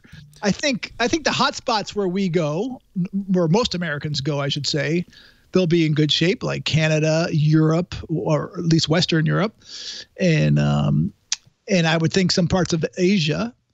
So we'll see. Might be Uh, safer. You might be safer in Asia than you are here, to be honest. Actually, they say Africa. You're safer in Africa right now Yeah. than you are here. yeah. Africa's doing a great job. Yeah, isn't that interesting? Well, they have experience. Yeah, with Ebola and uh, and other. Mm-hmm. So, but that's that's some of the good news. Um, a little bit of bad news is Kauai just came out yesterday saying they're going back down to uh, no more pre-testing. You have everyone has to quarantine for 14 days, no matter what. If you're coming from another island or anywhere else in the world, starting on December 2nd at midnight, um, you're going to have to quarantine. because the cases have just run rapid, rampant. And I, I knew this is going to, and it's going to happen for Oahu and Maui. I, I, predict. I, I hope it doesn't. I really hope I'm wrong, but you know, it's just not working. It's, Yeah. You know, that's the bad news. But the good news, travel will bounce back, and there's some really good deals going on right now because of Black Friday and Cyber Monday. You know, a lot of the cruise lines, airlines, you can fly actually to Hawaii for $196 round trip from the West Coast to um, If I go To to all- Oahu, do I have to quarantine? No, I have to just get tested, right? you just have to do a test. And it was the same thing with Kauai until is, yesterday. The governor said uh, he he told the mayor he'll honor his request, and so they're going to go back down. Not not a lockdown, but they're going to say you have to. Everyone has to uh, quarantine like they did before. Yeah. Just on the island of Kauai. Right. The Garden But- Island, beautiful place. I mean, it is it's one of the most beautiful places in the world. Do, does- do- do- the cruise lines come come and go. We had that cruise last week. Yep. that was uh, kind of a failure, and uh, Big time. Yeah, big That's time. understatement of the year. Uh, and yet, I still see. In fact, the cruise stocks were going up because I still see cruise lines saying, "Yeah, we're coming back any day now." listen, the, the the consumers love cruises because it's such a great deal. I agree. And and a lot of the ships have gone to the scrapyard, so they're saying there's high demand right now. And actually, because of um, Black Friday, they a lot of them are offering like 20% off. This is for future. No one's tr- no one's cruising in the in the next few months. So, and we're hoping that you know people will be able to sail this summer at least. I mean, if not the the spring, late spring. But um, yeah, I mean, cruising cruising is not dead. Believe me, it's not. I mean, I don't think there's anyone more passionate about travel than some of these cruise uh, fanatics, if you want to call them. They, I mean, they. I've met people who've been on 300 cruises in their life. I know it's crazy. I've been on maybe 30. I'm a cruise fanatic, but I'm having second thoughts. I have to be honest. Not merely because of COVID, but also because of the environmental impact of cruising. And I'm thinking, maybe uh, you But know that, that's an not. issue. But yeah, they're all they're all tackling it because that is definitely an issue. right. And I know Sir Richard Branson, his sh- new ship that was supposed to launch in August. I Boy, mean, did he pick a bad a bad time to launch that. Actually, it was in March. I was supposed to go down in the March for the launch, and Yeah. then they just kept pushing it. But um, When is he? When is that going to take off? The the new Virgin cruises are they? Do they have any plans? they keep pushing it. I, you know, I haven't looked at what the uh, latest is, but it will be once they open it up. They got to go. I mean, it's a brand new, amazing ship. It's kind of So, sad. um, this gorgeous ship has just been sitting there. Yeah, Um, my guess is summer is, yeah. it is, is my guess, but Yeah. we'll see. Um, I do have an app for you if we have time. Sure. Um, it's called get.santapixapp.com. Get.santapixapp.com. Okay. What do I get And when I I, learned about it this morning. get.santapix.app.com? Yep. Amber Mac tweeted it saying uh, it was uh, supporting Canadian women and entrepreneurs. Oh. And so, since a lot of kids can't go to the mall and get a picture with Santa, you can Wait, bring Santa to your a Zoom house. picture with Santa. It's not a Zoom. It's an AR. You know, I, I I talked about one of these with the uh, astronauts, which was really cool. This one's okay. It's only 99 cents on iOS, five dollars for Android, uh, which I don't, I'm not sure why there's such a huge difference in that. But um, it's fun. I just did it upstairs with my with my kids, and you can move Santa around. And uh, so, if you want to support small businesses, which today is a Small Business Saturday, we all knew we all these small businesses need support, so I bought it. How do you spell Santa Pix? Is it P I C S? Uh, you know what? It's P I C S app. I'll put it in the chat room right now. G E T dot Santa Pix P I C S app dot com. Yep. And I put it uh, in the chat. and that is going to get you a. It's is it is it Santa's helper? Yeah, no, it's Santa. It's Santa. Figures can Santa would be uh, on top of AR. Works on iOS or Android. That's kind of cool. And they have little p- props. You can bring a snowman in. You can bring a Christmas tree in. You can move them around. There's even video part. I haven't done the video part yet. Um, but listen, it, for the kids these days, it's something um, Nice. fun instead of running out to the mall because I don't think you can do it this year at the mall. And, and by the way, it's the uh, it's the uh, Coca Cola version of Santa. Yes. if you know what It's I mean. old- it's the old yeah. fashioned, nice, jolly old elf with a nose like a cherry. I I'll look for it. I'll look for a better one for next week. What's wrong with that? And a portion of it goes to Canadian Red Cross and the Red Cross Violence Risk Reduction Program. And- so that's a And one more thing that's in the news this week. Yes. This tic this TikTok star, a fool, pretends he grilled a steak in a Del- Delta bathroom, and he and he took video of it, of like he's making a steak. He had a, a sterno. He lit oh, it. please. and he got so much grief. And then he made another video. Southwest Airlines tweeted it. Which was, was, it real or was it fake? It was fake. All of, it was fake. Of course it was. But, but it looked real, Dopes. and he really got people going. TikTok Especially me. dopes. They're the new My blood was boiling. the new dopes in town. JohnnyJet.com. Go there. Yeah. wow. TikTokdopes.com. Oh Lord, what are we gonna do? So let me um see. I wanted to do the Viking um, Mississippi cruise, but I think they're all sold out They are. in, they are. in they are. 2022. But I think our trips, our first trips, are going to be in the U.S. Lisa and I have decided we're going to first thing we're going to do is do a, a road trip up the East Coast. I think. well, we're fortunate that we live in such a first of all beautiful Lots country a beautiful state. Yeah. Uh, there's so much to see in America, and I think you know domestic travel is going to bounce back first. For sure, leisure travel, business travel is going to take a while. They say that business travel is not never going to bounce back. back. until people go back to the offices. May never come back. Why spend all this money? You could just zoom it. it's definitely going to take a hit big time because I mean again I used to go to New York City for a meeting. I had friends who'd go from New York to Australia for a meeting and not even spend a night. Those days are over, I think, and I Yeah. think that's a good thing Yeah. for everybody, Yeah. especially the environment. I was going to do uh, New Orleans to St. Paul, up the miss the mighty Mississippi. Yeah, I hope to be able to do one of those. sold too. out in 2022, but I think 2023 has some has a few openings. oh man, I would really like to do that, but I don't. I don't know if it's great. It seems crazy to yeah. The June 24th sailing in 2023 is sold out. It seems, and then as is September 16th, 30th, there's only two sailings that aren't sold out the July 8th and July 22nd. It seems to me like it's crazy to make a reservation for a trip in 2023. It is. Uh, so if you are going to make those kind of reservations, you make sure that you can get your money back. Yeah, yeah. Uh, And Yeah. you got to you got to read the fine print for the Yeah. insurance. But before before I go, I got one more quick question about that Fire Stick for my dad's Roku TCL TV. TV. Yes. I went to buy it, and there's three different versions. Can I buy the cheapest version, or do I need the most expensive? Do I need the light or the? Didn't we say the cube instead? Did we say a fire Did we say the cube? I think we said the cube because we want voice commands, right? Right. I think we said the cube. All right. I'll get. I don't cube. know. I don't know. Uh, you, he wants to be able to say, "Hey, turn on the races." Races. Right.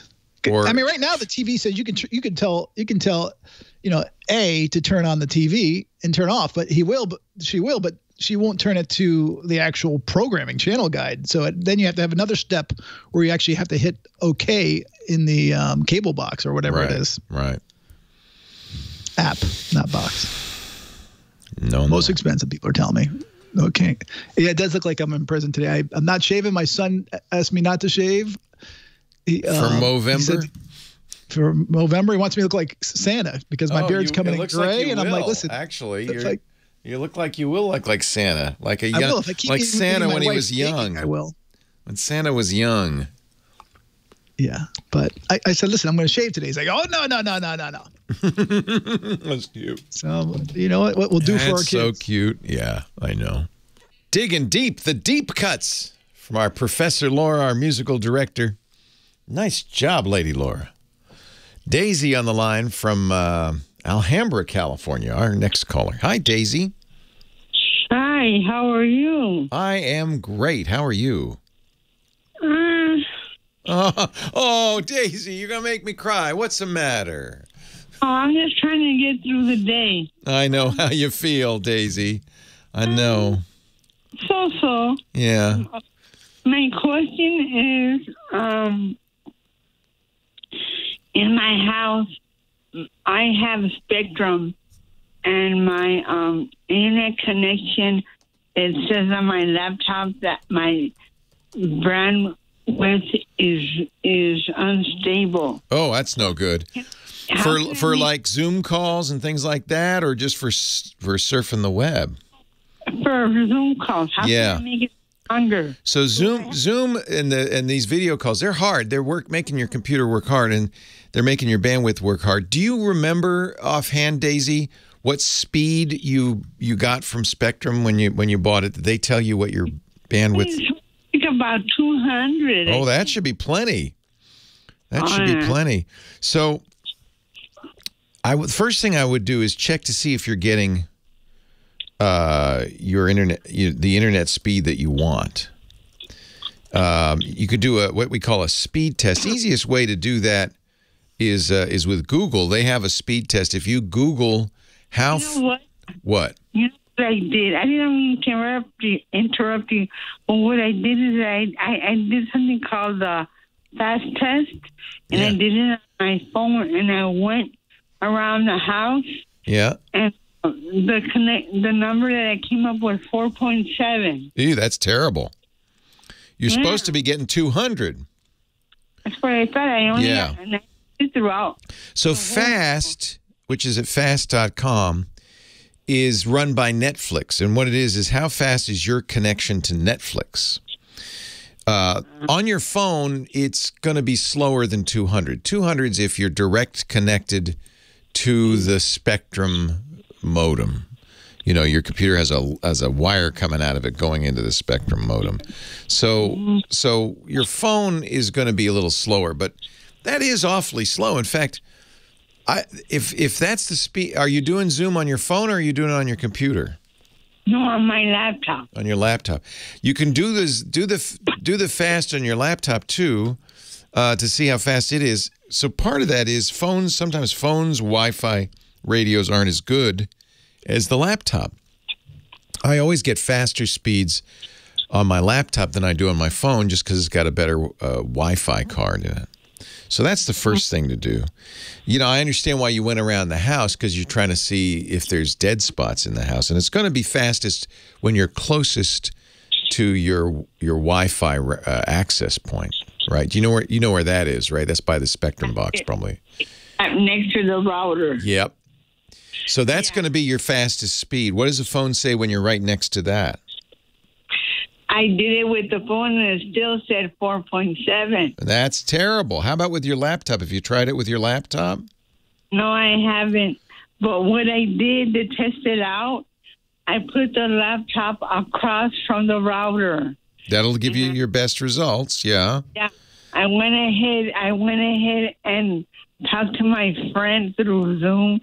We did it for half an hour and it was no problem. Okay.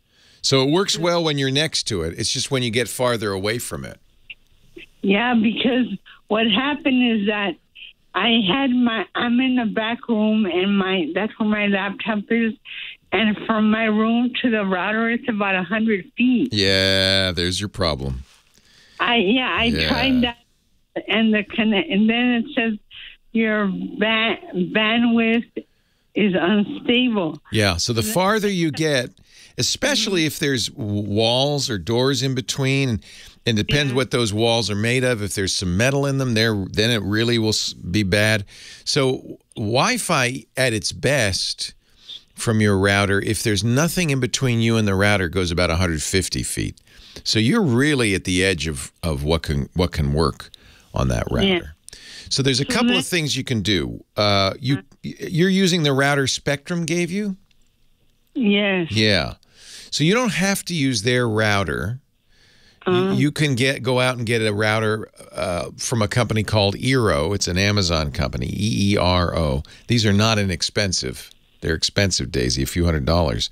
But it but you, what you'll do is you'll put it where the Spectrum router is, and then you'll have that's the base station, and then you can put some Eeros, what they call the beacons, and I would get two, one halfway to your room and one in your room. And what happens is they act to hand, uh, with handoffs to get it all the way down to your room so that you get better speed. A good a good a good router will really improve that. E E R O dot com or you can get them on Amazon because that's that's who owns them. How much do they cost? Well, that's the negative. Um, I think you're going to be spending probably 300 bucks. Is that out of your out of your price range? Yeah, it is. It, would it be better to use like an Ethernet cable? Yes. if you could do a cable, if you don't mind having a cable going down that hall, that's the best of all. That'd be better than any Wi-Fi. But because I was looking at also at a Wi-Fi booster. Are those things really good or no? No. That's why I say Eero instead of a Wi-Fi booster. There's another thing you can do that's uh, that would also probably work. It's called power line networking, and it uses the electrical wiring in your house instead of an Ethernet cable. It's not as fast as Ethernet, but it would probably be faster. In fact, I know it'd be faster than your Wi-Fi. The company that I recommend for these is called TP-Link, and again, you can look at Amazon, and you can. Yeah, yeah. TP Link's good. If you search for power line networking on Amazon or uh, you know at tplink.com, it's tp-link.com. uh, dot com. You can get. You'll need two. You'll need one that plugs in next to your Spectrum modem, and then one that plugs in down the hall in your room. And as long as that's all one electrical system, it'll be fine. If there are if there are junction boxes, fuse boxes in between you, uh, your room, and the where the router is, that will get in the way. But most houses, you have one fuse box, and everything's on the same uh, wiring. It actually uses the wiring in your house. So you, the way this works is kind of wild. It plugs in to the plug socket, uh, and then an Ethernet cable goes from your router into that and then you plug another one into your plug socket in your room, and that cable, or you can actually get them with Wi-Fi, would work fine. So now you got Wi-Fi in your room that's connected all the way down the hall using the electrical wiring, and that actually works pretty well. It's not going to be 200 megabits, but it'll be 100 megabits. It'll be a lot faster, and it'll certainly be all right for Zoom. The other thing you can try before you do all this, 100 feet is a long way, so that's my biggest concern. But before you do all this, another thing you can try is positioning the the Wi-Fi access point, you know, the thing with antennas. Put it high up because it turns out humans are as bad as walls. In fact, we're worse. We're giant bags of water from the point of view of a Wi-Fi router, and that will just if as soon as it hits your body, it kills the signal. So if there's people walking around, that's bad. So you so always you want to put the Wi-Fi router, the thing with antennas, as high as you can. That'll help get it down the hall. You could try a Wi-Fi extender. My experience with them is that they cut the signal in half because they spend half the time talking to you and half the time talking to the router. So that's not ideal. Uh, that's one of the reasons we talk about things like the Eero. But a, but a lower cost solution, under a hundred bucks, and, and I think a really good solution for a lot of households is what we call power line networking. Used to be terrible. Uh, a lot of times you ask a geek about it and they go, "Oh no, don't do that. That's horrible." But they've gotten so they're not. It's not. This is not your grandfather's power line networking. They they've really gotten a, a heck of a lot better than they used to be. Hey, it was nice talking to you. I hope I hope it all works uh, works out because yeah, you know you want to be able to do your Zoom calls. For, for a lot of us, it's our only connection to the outside world these days. Well, hey, hey, hey, how are you today? Leo Laporte here, the tech guy. Time to talk computers, the internet, home theater, digital photography. We've got your smartphones, we've got your smartwatches, we've got all that jazz. 8888 Ask Leo. That's the phone number if you have a question, a comment, a suggestion. You want to talk high tech with me? 888 827 5536. That's toll free from anywhere in the uh, U.S. or Canada. Chuck is on the line from uh, Southern Tennessee. Hello, Chuck. Hi, how you doing, Leo? I'm well. How are you? Oh, I'm sleepy right now, waiting to come online. Well, did take you can take a little nap when we're putting you on hold. That's okay. That's a good idea. No, that's no, that's all right. Uh, I do remember once picking up on hold and uh, somebody was snoring. well, no, uh, no, I'm not sure. I've been listening to you since uh, uh, the what the ZDTV days. Oh well, that's nice. Thank you. I appreciate it. that. Was that was 1998? And uh, I mean, I'm a, I'm a technical writer, retired now, but I'm still doing some writing. And this uh, new Word 316, all the improvements to it has made it almost unusable. Uh, so uh, what I need is a good something as good as the Windows 10 Field Guide. Is there any such thing for uh, uh, Windows Word 316? So um, you're talking about my good friend Paul Thurrott's excellent book on uh, Windows 10, the Field Guide to Windows Right. 10. I don't know what good books there are on Microsoft Word. Um, so you've used Word f- all this time for your work and so forth, but you found it difficult to use the newer version. Uh, I've got I've got the latest version of it on my on my computer. Yeah. Uh, I've been a te- I've been a technical writer now for over sixty years. So you're you're saying when you sit down at uh, Word from Office 365, Right. and you look at it, you it, you can't figure it out. Oh, I can do the Roy just fine, but Oh. there's other things in there like a. The other day, I had a heck of a time trying to save a file to a USB drive. Oh, I see. Yeah. Uh, uh, they, uh, it's- uh, they've done made changes, and there's no. Yeah, you know, and there's really no reason to make changes because honestly, I think word processors and how they work were solved many, many moons ago. There's not, there's nothing, there's nothing, uh, you, you know, nothing you need to really improve much. writing. You know, I Yeah. just need to be able to. I just can't have trouble using it. I wonder. If, I'm. I'm wondering if anybody made as good a manual as the 10 Yeah. Field Guide. I, I do not know uh, particularly, um, if, but there is one that might be the the one that you want called the Writer's Guide to Microsoft Word.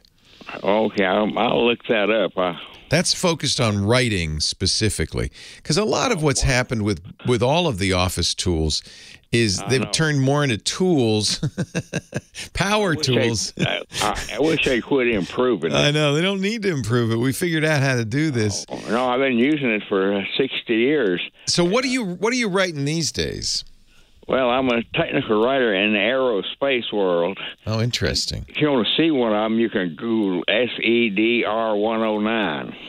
So you have specific requirements for layout and things like that. Oh, Mercury. This is the Mercury Flight Operations Manual. You wrote that, huh? Uh, Flight, Capsule Flight Operations Manual. I wrote that about 60 years ago. Holy moly! Was that for John Glenn? Oh no, yeah, he used it, but I, uh, yeah, uh, actually, I, I worked. I wrote the first manuals. I'm sure the Air Force moved it after I rewrote it after I moved on. But the, what you see on there is, if you giggle, if you, I'm reading it. I'm looking at it. Yeah. if you go far enough in, you can read the whole text. This is for this is for. Capsule Seven, right? well, the, that, that was Friendship Seven. That was the first Redstone. It's not. Uh, oh wow! It was I can't. Uh, my name says me. You know, uh, the uh, very first launch. Wow. Uh, they uh, they won. It was. Uh, So that was Shepard. That was Alan Shepard's uh, vehicle. yeah. yeah, I, I watched. I, I met Alan Shepard came to my desk to talk about the. Holy cow, sir! It is an honor to meet you. Wow. Not, not not me. I was just a I was just a technical writer trying to make enough money to go back and finish college. I was working as for a, Mc- I was working as a writing pilot's handbooks for a McDonnell aircraft. So so the Mercury Redstone three, which was the which was Friendship Seven, is that right? Uh, I can't. Yeah, Yeah, I think it was. I think that's that was the the phrase we used for it. It's been a long, that's been a long time ago. And, Yeah, yeah. That, but that was, uh, of course, a legendary flight, and you you uh, wrote the flight manual for the capsule operations. Now I remember. uh, I remember. I don't know if it was Alan Shepard or John Glenn who said it. That were just spam in a can. That they were they were accomplished pilots, and they wanted more control of the capsule. Isn't that right? Oh yes, uh, the biggest the biggest thing, uh, the capsule. Main thing it was to find out just how much could the astronaut do. Uh, you know, the Russian astronaut, we they stuck a guy in there and shot him up and let him back down. He couldn't do anything. He had no controls. And I remember it was the early Mercury astronauts who said, No, you're giving us controls. We're not going up in a can unless you give us some controls on there. So that's what the manual was, right? The manual is those for those controls. All the, yeah, I wrote. Uh, I said we sat up there and says, "What if?" And you know, if you take, uh, what if this switch doesn't work? Can you find another way of doing it? Wow. See, this is what we I, we did all this uh, a year before the first flight. And I'm thinking you weren't using Microsoft Word to write that thing. No, I, I was writing it by hand and giving it. I had a secretary typed it. Wait up. a minute. You were writing it with a with a pencil and then somebody typed it up? Right. I mean, man, you could talk forever about the good old days, you know. Oh, Chuck, I am. Uh, it's an honor to meet you. I hope somebody is is talking to you and writing this all down. I'd love to, love to. pres- trying to I'm trying to write a book, but I'm I'm not having much success. That's why I'm get, trying to get my uh well, in the current version of Word. Yeah, I don't know if, if Word is probably more than you really want for something like this. I- but I've been using it since uh for 25 years. Yeah, that's what gets me is they've made it hard for you to use. Of all people, Yeah, I, I just uh, I'm glad to talk to you. Uh, I could talk. We could talk for hours on this subject. I wish I had the time to talk for hours with you because uh, well, it's certainly an honor to meet you, sir. Yeah, I'm And- retired now, and I'm just and I and I and handicapped to a wheelchair, so I just stick in my office and try to write up the good old days. Oh, I hope you do because I think uh, there'd be a lot of people who would love love to read that, Chuck. Uh, wow. So everybody, if you, I'll put a link in the show notes to SEDR 109, right? Right, and that's it. That's. Uh, I also wrote another one, but I've never found a copy of it online. I wrote t- two manuals, one of them for the uh, capsule and one for the simulator or the trainer. Wow. Wow. It was a SEDR 114. Wow. That's Sensor Service Engineering Department report. Now you're writing it in pencil. Um, are you looking? What are you looking at as you're writing it? I mean, how do you? This is a year before they built the darn thing, right? Well, uh, I mean, uh, I mean, uh, we had the wiring diagrams and the frame, and I used to sit and, uh, hey, uh, I'll try to. I wrote up an article about Mercury Memories. Says I, it's it's work in progress, but if you'd like to have it, I'll email it to you. Well, here's no, that's not necessary. Well, you can, but what I'd love to do is uh, when you finish that uh, and and you get that thing published, and I'm sure you will.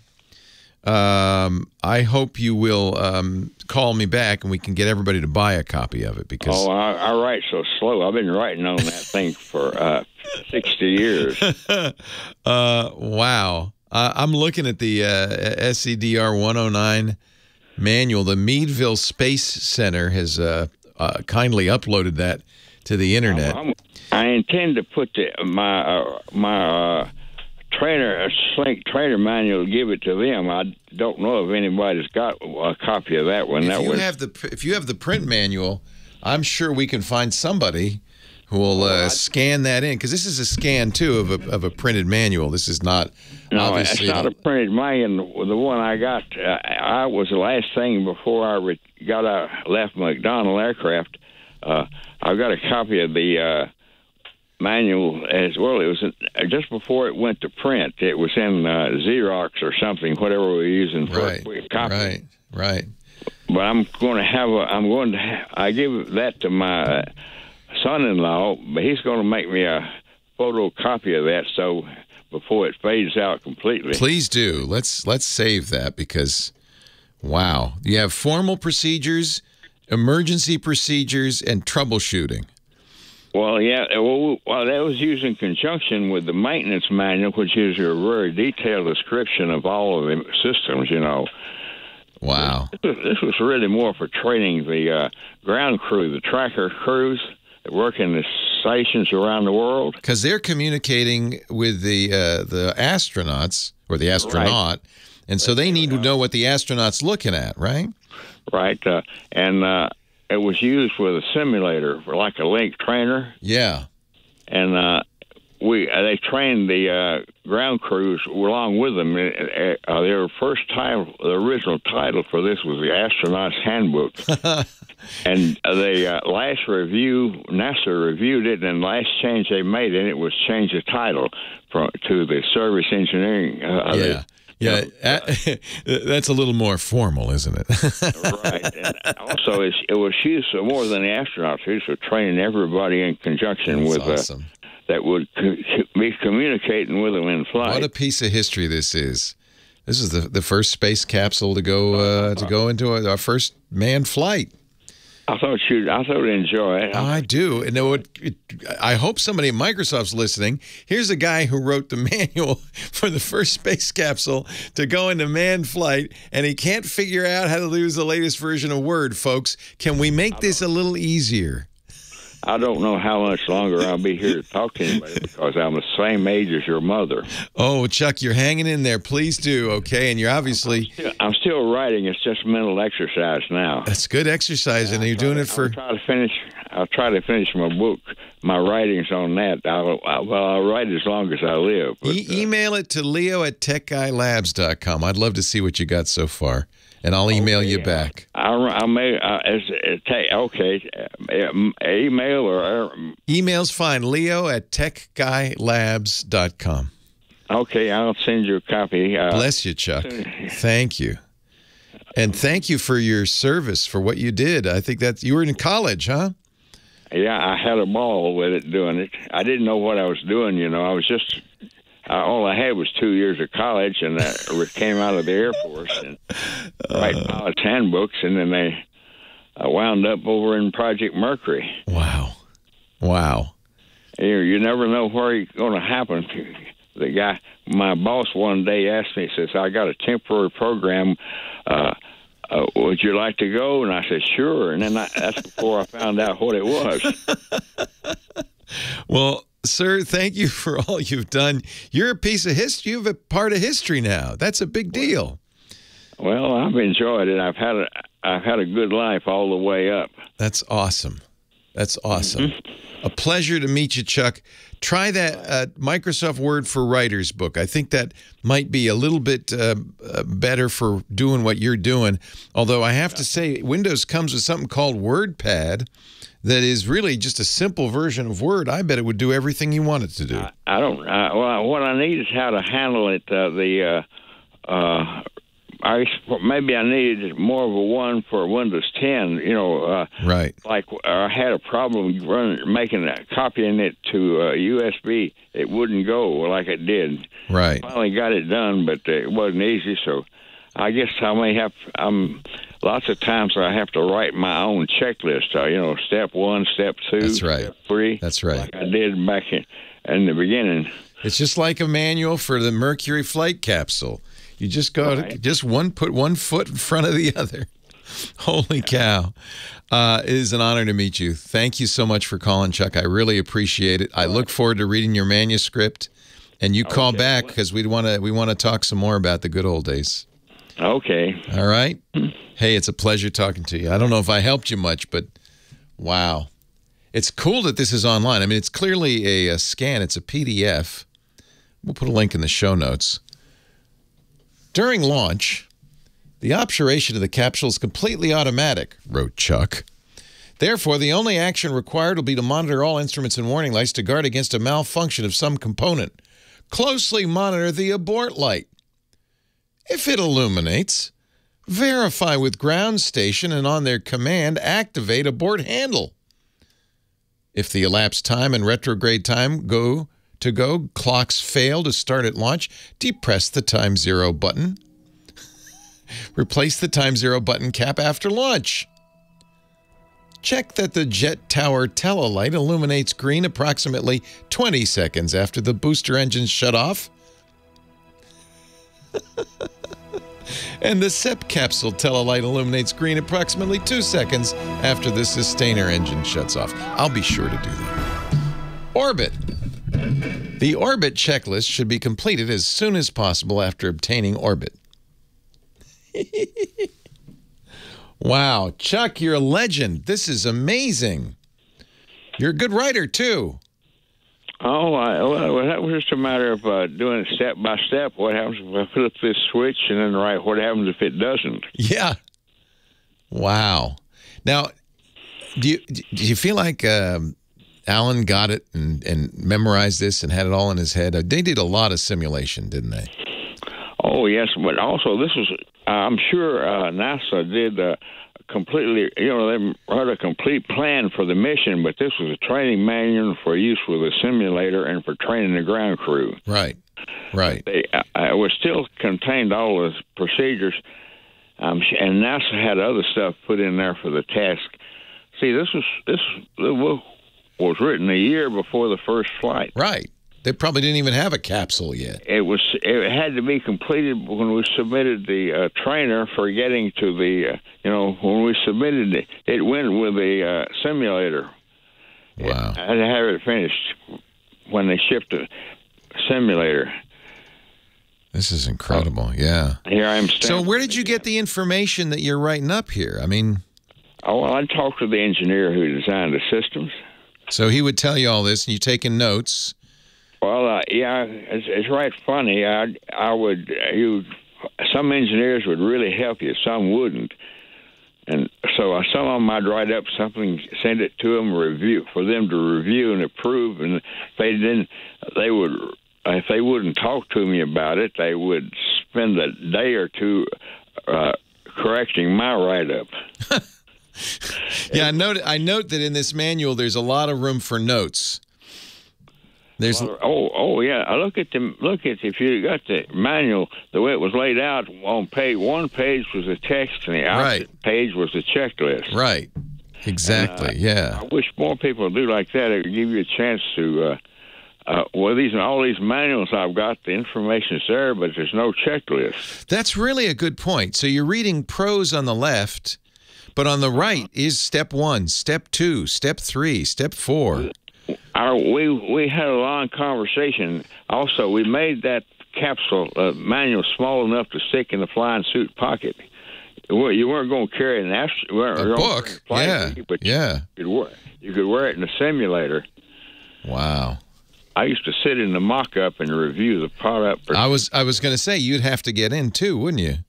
Make Oh, sure it all works. I would, I would get up and sit in the uh, uh, simulator, and uh, I had a dream. I had a, a, a couple times I'd uh, I would go to sleep. you know, take a nap in the in the, in the mock-up. Chuck, I got to run. I'm sorry to say, but I will talk to you again soon, I hope. Wow. Leo Laporte, the tech guy. 8888 Ask Leo. Wow. Wow. Really fun to talk to Chuck. It really says something, too. That this guy, why is why do they keep changing word every five minutes? You know why? Same reason they put fins on Cadillacs, just so it looks different. So you say, well I must have to get the new one. Got to have the new one." But There's word. There's no reason to change a word processor. We know exactly what it needs to do. it's as if, you know, the, every Mercury capsule is just a little bit different than the one before. Well, that's the new one. I wonder, did they probably didn't change those, right? You, it's why you keep the steering wheel on the left and the gas pedal on the right, and that's just the way it should be. But not with Word, no. And in fact, I think the thing that really probably threw Chuck, certainly threw a lot of us, was when they went to that new ribbon interface. And the idea was there were so many commands in Microsoft's Office products, but particularly in Word. Microsoft realized that people only used 5% of them. A lot of it was because they just didn't know the, that they could do that because it was all hidden away in menus. So they said, how can we get people to use more of the features we build into our word processor?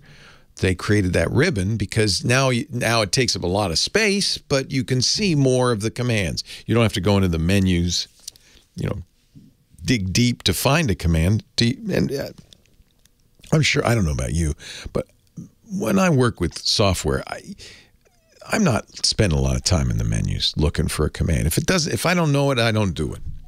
But they want you to do that stuff. So now they have this ribbon, which takes up a large chunk of the screen up at the top there with a lot of pictures and commands in there. And that's all because, you know, they, in their research, they saw, oh, people aren't using it. But why not? and if they're not using it, do they need it? Uh, 8888 Ask Leo. The Giz Wiz coming up. Leo Laporte, the tech guy. Now, here's how you get out. Once you once you land, the normal egress. Now, probably Gus Grissom went, didn't do exactly what was on this list because he lost the capsule, right? Eject reserve chute by placing rescue switch to manual.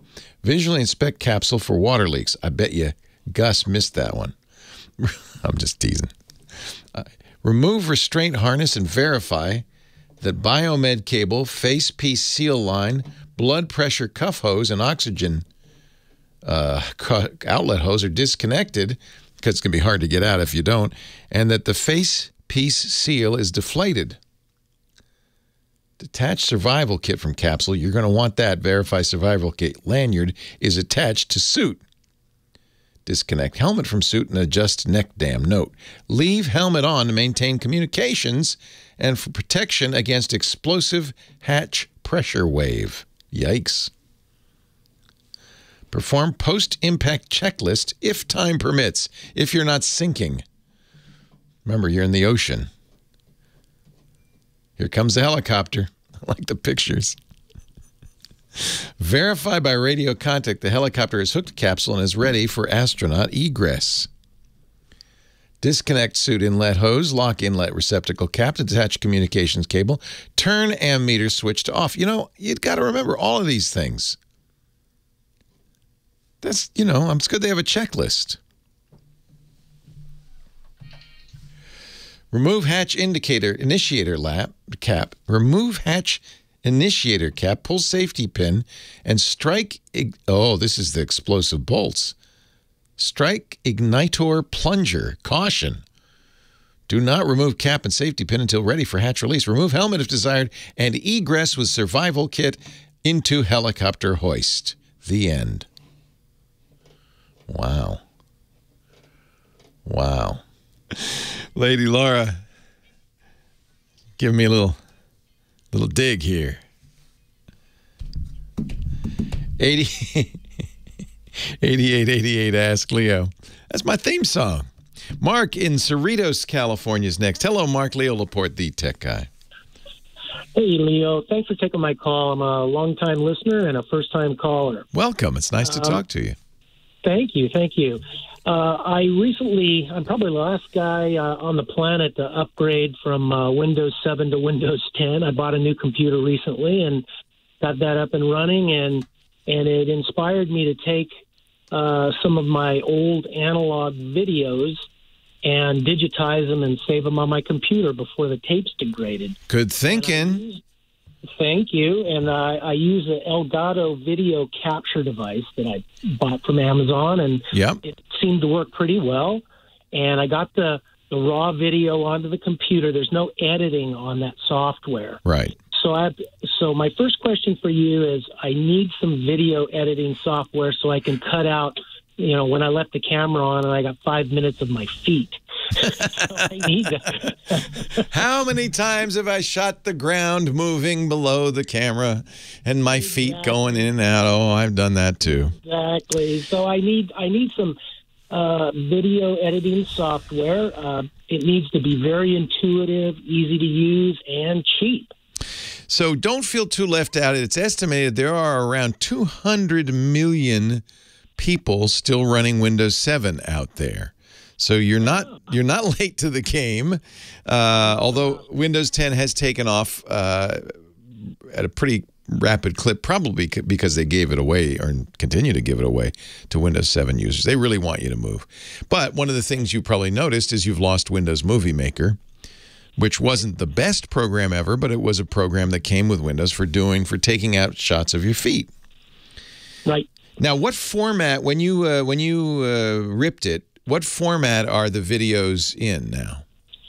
Well, uh, based on what I'm reading on the box, it it it transfers it to uh, uh, some sort of format that I'm not familiar with. But then when you're all done, it converts it to MP4. Good. All right. So that's a very common format, and there's in almost any video editing program uh, will edit that. In, uh, you know, uh, it depends how much you want to spend. If you want something that's really capable and good and under a hundred dollars, I'm going to recommend Adobe's Premiere Elements. Okay. That is the, you know, they make the Elements version of their big boy apps. Um, Premiere is a professional video editor that's widely used. In fact, we use it for uh, all of our videos um, on our podcast network. But Elements is a simpler version of it that's inexpensive and it does almost everything you want, including at some point if you wanted to burn those to a DVD and uh, you know that kind of thing. Uh, so it'll, it'll let you cut out the feet and it will let you uh, do more with it, a lot more with it. I think that's a good. Is it easy to use? Yeah, I'm it's not very- sophisticated. Uh, I've never done video editing, so I need something. It needs to be a beginner's level kind of a product. So there's an it's this is an interesting category because all the professional tools do something called timeline editing. That's kind of how you know video editing is done. And the way it, it looks on your windows, you have a a video clips and you can see kind of frames of the video and then you have a playback window and you have an effects window and you can assemble the clips you can cut them almost as if you're like cutting them with a razor blade or scissors like in the old days except you're doing it with a digital tool it kind of is an is a digital representation of what we used to do in the analog days. And that timeline editing is very common. And generally, I tell people if you're going to use an editing tool, use a timeline editor. There are other editors that don't do it that way. But the problem is if you ever then want to get, you know, go to the next level, you're going to have to learn timeline editing anyway at some point. Um, I think Premiere Elements uses timeline. I don't think it's too hard to figure out. Uh, If you ever used Windows Movie Maker or any a variety of things, Apple's iMovie, um, you're familiar with that. So I've never used a video editor. Yeah. Well, so if you think I'm never going to need to do anything more than I want to do, like clip out the feet, you there actually is a tool built into Windows 10 in the Photos app. It's not a timeline editor, but it'll let you cut out things, uh, trim it, and snip out stuff. You can even uh, trim is the trim is the part that f- the uh, feature you want. It's to trim out your feet, basically. Um, right, right. so that's there. It's all in the. It's all. It's actually in the in the. Uh, uh, let's see how you how you. It's What do I search for to yeah. find that? It uh, it's it's part of the Photos app. So if you open uh, Photos, uh, then open your video file in Photos. Actually, you could just right click on the video file and select Open with, and then Open with Photos. We'll open it up in the Photos app, and then you'll see right there on the screen a picture of your video, the play button. You can play it, but there's also an edit button. I think it's Edit and Create that will let you once you click that trim it and then you can cut. So this is the simplest way to do it. It's not timeline editing. It's not going to kind of lead you to the next level in editing. But it, but if all you want to do is cut out little bits, that's probably all you need. And you already have that, and then you just save it. So it's weird because Microsoft puts it in the Photos tool, but actually many of the things that you would want to do with simple video editing are there, including you could add music. You know, you can trim out stuff you don't like and save it out. If at some point you want to get more fancy, then I would get Premiere Elements. Uh, it's about uh, under 100 bucks, about 70 or 80 bucks on, on sale, and you can learn it. But you're right. You, if you, if all you want to do is is simple little trimming things, that'll work just fine. Great, and and this has inspired me to also uh, uh, go forward. I've got a bunch of 35 millimeter slides that I need to digitize. You want to do the same thing. They're not going to degrade as fast as that video would, but still, they are. You know, they're aging. Uh, so I need a slide scanner. Yeah. That, uh, yeah. So this is a painful process. Um, there are inexp- many many Epson makes a bunch of uh, very nice scanners that have holders for slides. You can do a half a dozen at a time, And you need a, for a slide scanner, it's opposite of what you're doing when you're scanning uh, paper documents. Pa- paper documents, you're bouncing light off of them into the camera. With a slide, you're shining light right through the slide, so there needs to be a light in the lid, right? But but Epson makes a variety of these photo sca- or slide scanner. They're not slide scanners; they're regular scanners with the capability of doing slides.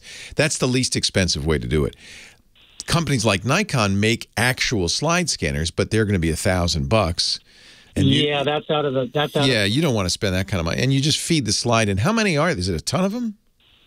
oh, I've probably got maybe a thousand or two thousand. Yikes. If you can pare it down, it would probably behoove you to send it to a service bureau where they'll do a nice job. That's what we did with ours. We had a bunch of, you know, Kodak carousels. We just we Right. took them out. We we didn't even clean them up. We just sent them in a box. Uh, they they scan them, they clean it up, and they send it back to you uh, on a CD or a DVD. Probably nowadays they just put it online. That's going to save you a lot of time. But if you're in the mood, get an Epson Perfection scanner and you can scan the photos. It does a very good job. And it's fairly easy. It's just that it's slow.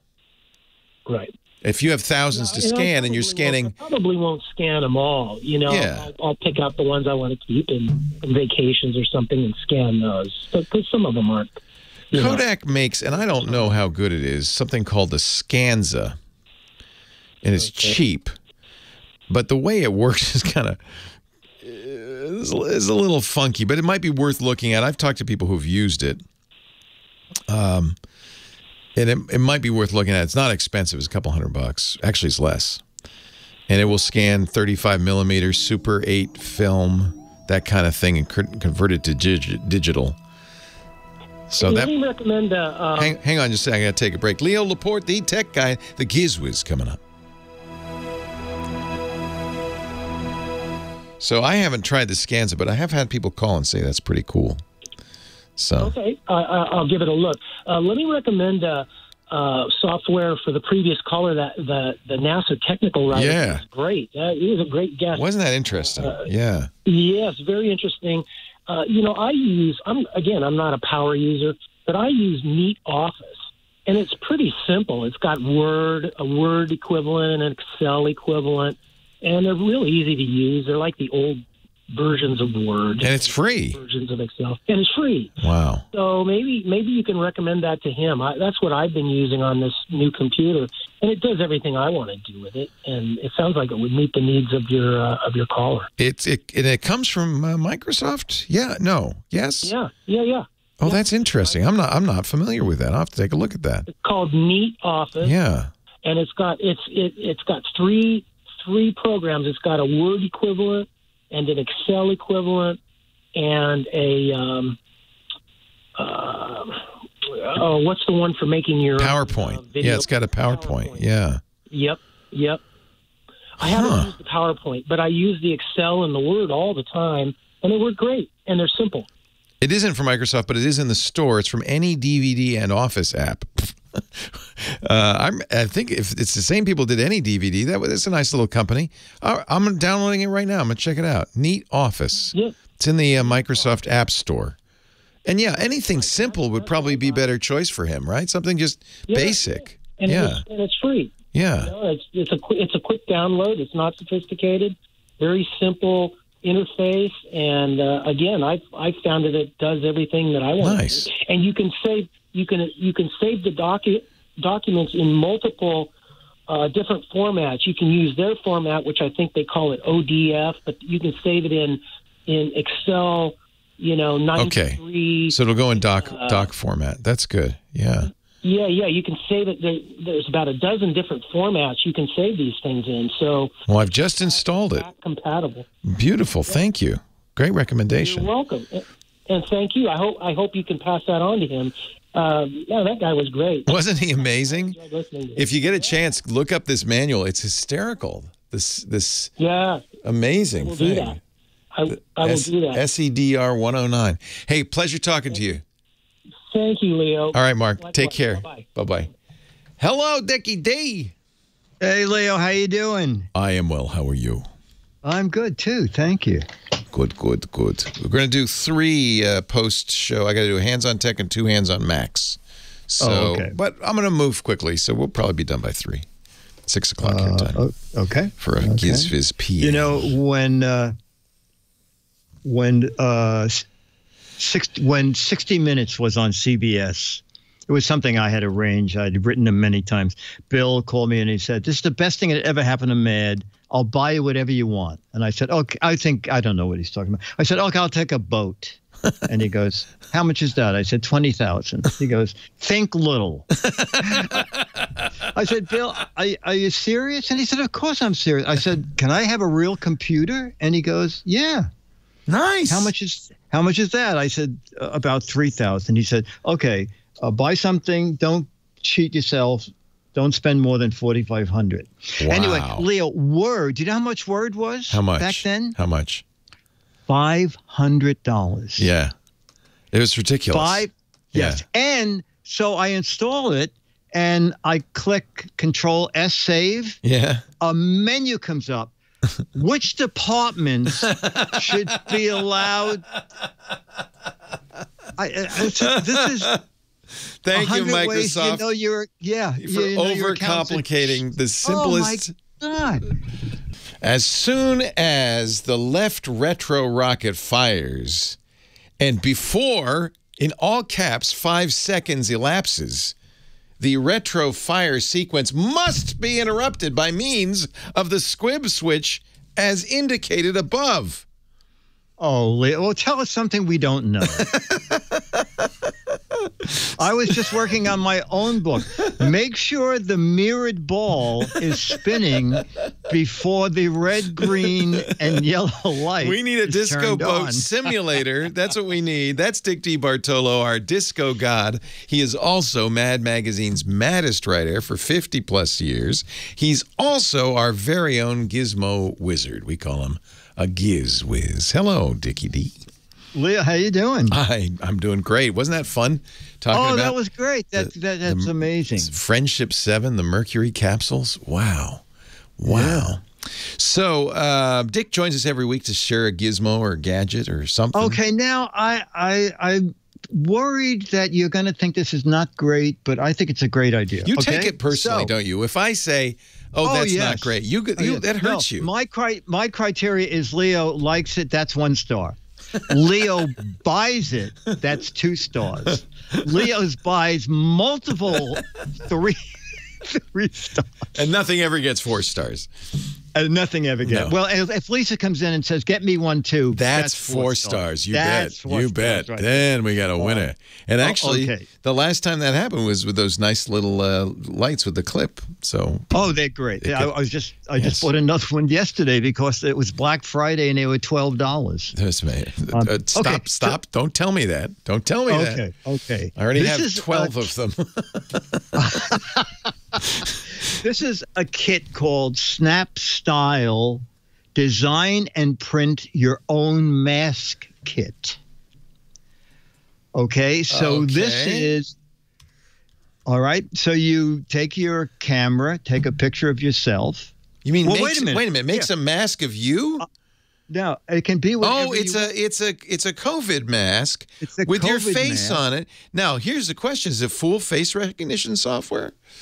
You know what? It is, if you do every step, it meets WHO requirements. Uh, It's either the World Health Organization or Wally's Hamburger Outlet. Uh, uh, So wait, wait, wait. This is hysterical. Obviously, they print it, right?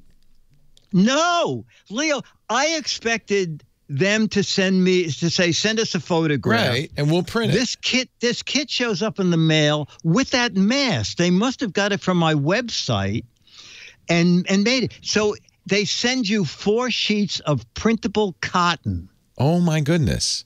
So it's a it's a World Health Organization approved mask that has nothing Well, on meet- it. it, it meets the uh, requirements of them. Okay? Okay. So you get four printable cotton panels. You get four filter inserts. You get the aluminum nose bridge straps. You get get elastic ear loops so that you can make them for kids or for adults. And you can like, all right, this is a this is a one star now. Uh yeah, this could go to two or even three stars pretty quick here. You- this is good. You can put anything you want on it. Wait a minute. So, but when Uh, you print this on the printer, then what? So then you peel the the cotton part off. All right. Yeah. Uh, if you go to their website and, and, and click on learn, there's a whole. I when I got done with the steps involved in this, I thought, thank God they made me one. Uh, it, it is a lot, all right, and it's a little like the fold in. When you make the folds on the mask, it's put, you know, A against B. Oh, and Yeah, because this is it. one of those masks that has vent, you know, the folds in it, Yes. the pleats in it. So you have to print it with the pleats and then fold Yes. it together. Oh wow. And then so you so you need the kit, you need a printer, and you need an iron. Okay. oh, it's a it's an And- iron on. yes, because all the adhesive strips are heat activated uh, strips. I mean, Oh. they really did a heck of a job designing this. And I then, get it. So these strips then go onto the mask where the pleats are. I get it. I get it. Exactly. Yeah. And the little folds tell you that to match A with A and B with B. Oh, and you can even see it Uh, virtually in your phone. You can, yes, when you first take the photo, you can see what it will look like on you. And then I thought, well, the next thing is going to be I'm going to go online and find out this is some ridiculous uh, price. It is four of them for $18. Oh, that's so not bad it's at all. It's not much No, more than a regular mask. No, absolutely. And if you are interested in this, don't buy the the two pack is sixteen dollars. The four pack is eighteen dollars. Get all four. Yeah. Yeah, get all four. And a- a- as you uh, watch the video, you'll see that it's complicated, but they cover all the bases. You know, I've been sewing my own masks by hand. This is not more complicated than that. It's a lot easier than Oh that. no, no, not at all. Yeah. Oh, you were sewing by hand. Oh yeah, but that's kind of Oh. fun. It was a little project. Yeah, I haven't, I haven't done it lately, but because I made plenty of masks, but it was kind of. I think it was a way of handling my anxiety. You know, you make Oh, your own mask, okay. then you feel like, well, I'm doing something. Oh, okay. This- well, that's this a good takes. idea. You're gonna need an iron. You're gonna need an iron, and you're gonna need some. You know, it's crafty. It, it's exactly right, and you match the A to B, you know it is like a fold in with the uh, Yeah, match the A to yeah, B, except with the fold in you don't iron it. But this is exactly what you do when you make your own mask, and that's optional, by the way. But I, but I've done this, so that's really Okay, cool. And it comes with a bunch of adhesive tape and stuff, so you can. Oh, everything you need, and then the loops you put the loop on one side, try it on, and then you know where to cut the string for the loop on the other side. Can you wash it? I don't think so. I believe they are. Uh, a certain number of hours, and then you should just make another one or wear another. So you one. will not- want to get four. Uh, Uh, yes, exactly. Because you're going to go through them. Exactly. But this is great if you're going to a party or something. You'll be have really something to uh, people yeah, to talk about. there you go. It's for a special occasion. Uh, Have a mask that matches your face, or your dress, or your puppy. Yeah. If you're a leopard, it matches the one that they if do you're in a the leopard, demo your tape. spots can match. Yep. wow. And so, really, what it is is you're you are in effect making sewing your mask, except it uses adhesive instead of stitches. To do it. Exactly. Oh, that's, That's really exactly interesting. Huh. Yeah. Wow. And where and well, this I was going to say where to get it. I know where you get it. You go to Dick's website. That's where you get it. Giz dot. Uh, I'm sorry, no dot there. G i z w i z then the dot b i z. G i z w i z dot b i z. Gizwiz dot biz. Uh, that's a Dick's special, professionally designed site, and Yeah. uh, and if you click the uh, Gizwiz visits the tech guy button, it's got a picture of me. You'll see all the things he's recommended on the show. There's lots of other things. You did World News Now a couple of weeks ago. I, I know you got all your your gadgets from World for Insomniacs from World News Now. Yeah, exactly. Yeah. Exactly. Uh, there's also Mad Collectibles. Dick wrote for the Match Game for years. He he's kind of the legend that saved the Match Game. If you want to read that story and even get some old Match Game questions, he sells those on uh, on his site gizwiz.biz. The the there is a game for us all to play though. The What the Heck Is It contest that'll run out at the end of the year, so you got a little bit more time. Just identify this close up of a gizmo or a gadget. If you know what it is, or even if you don't, you're in the running for an autographed copy of Mad Magazine, GizWiz. Perfect. Biz. Thank you, Dickie D. Don't forget his Thank podcast, you, sir. too, gizwiz.tv. Have a great day. How was your too, buddy. pineapple upside down cake? Pretty good? Uh, you know what? We didn't do it. We went out and bought a pumpkin pie. It was not like a normal Thanksgiving, you know. Tell So me I- about it. For any of us. Yeah. We didn't have any company. We just thought, you know, we're going to buy a pie. Buy a pie. it was a buy a pie Thanksgiving. It was a buy a pie. We'll never Exactly. forget it. Yeah.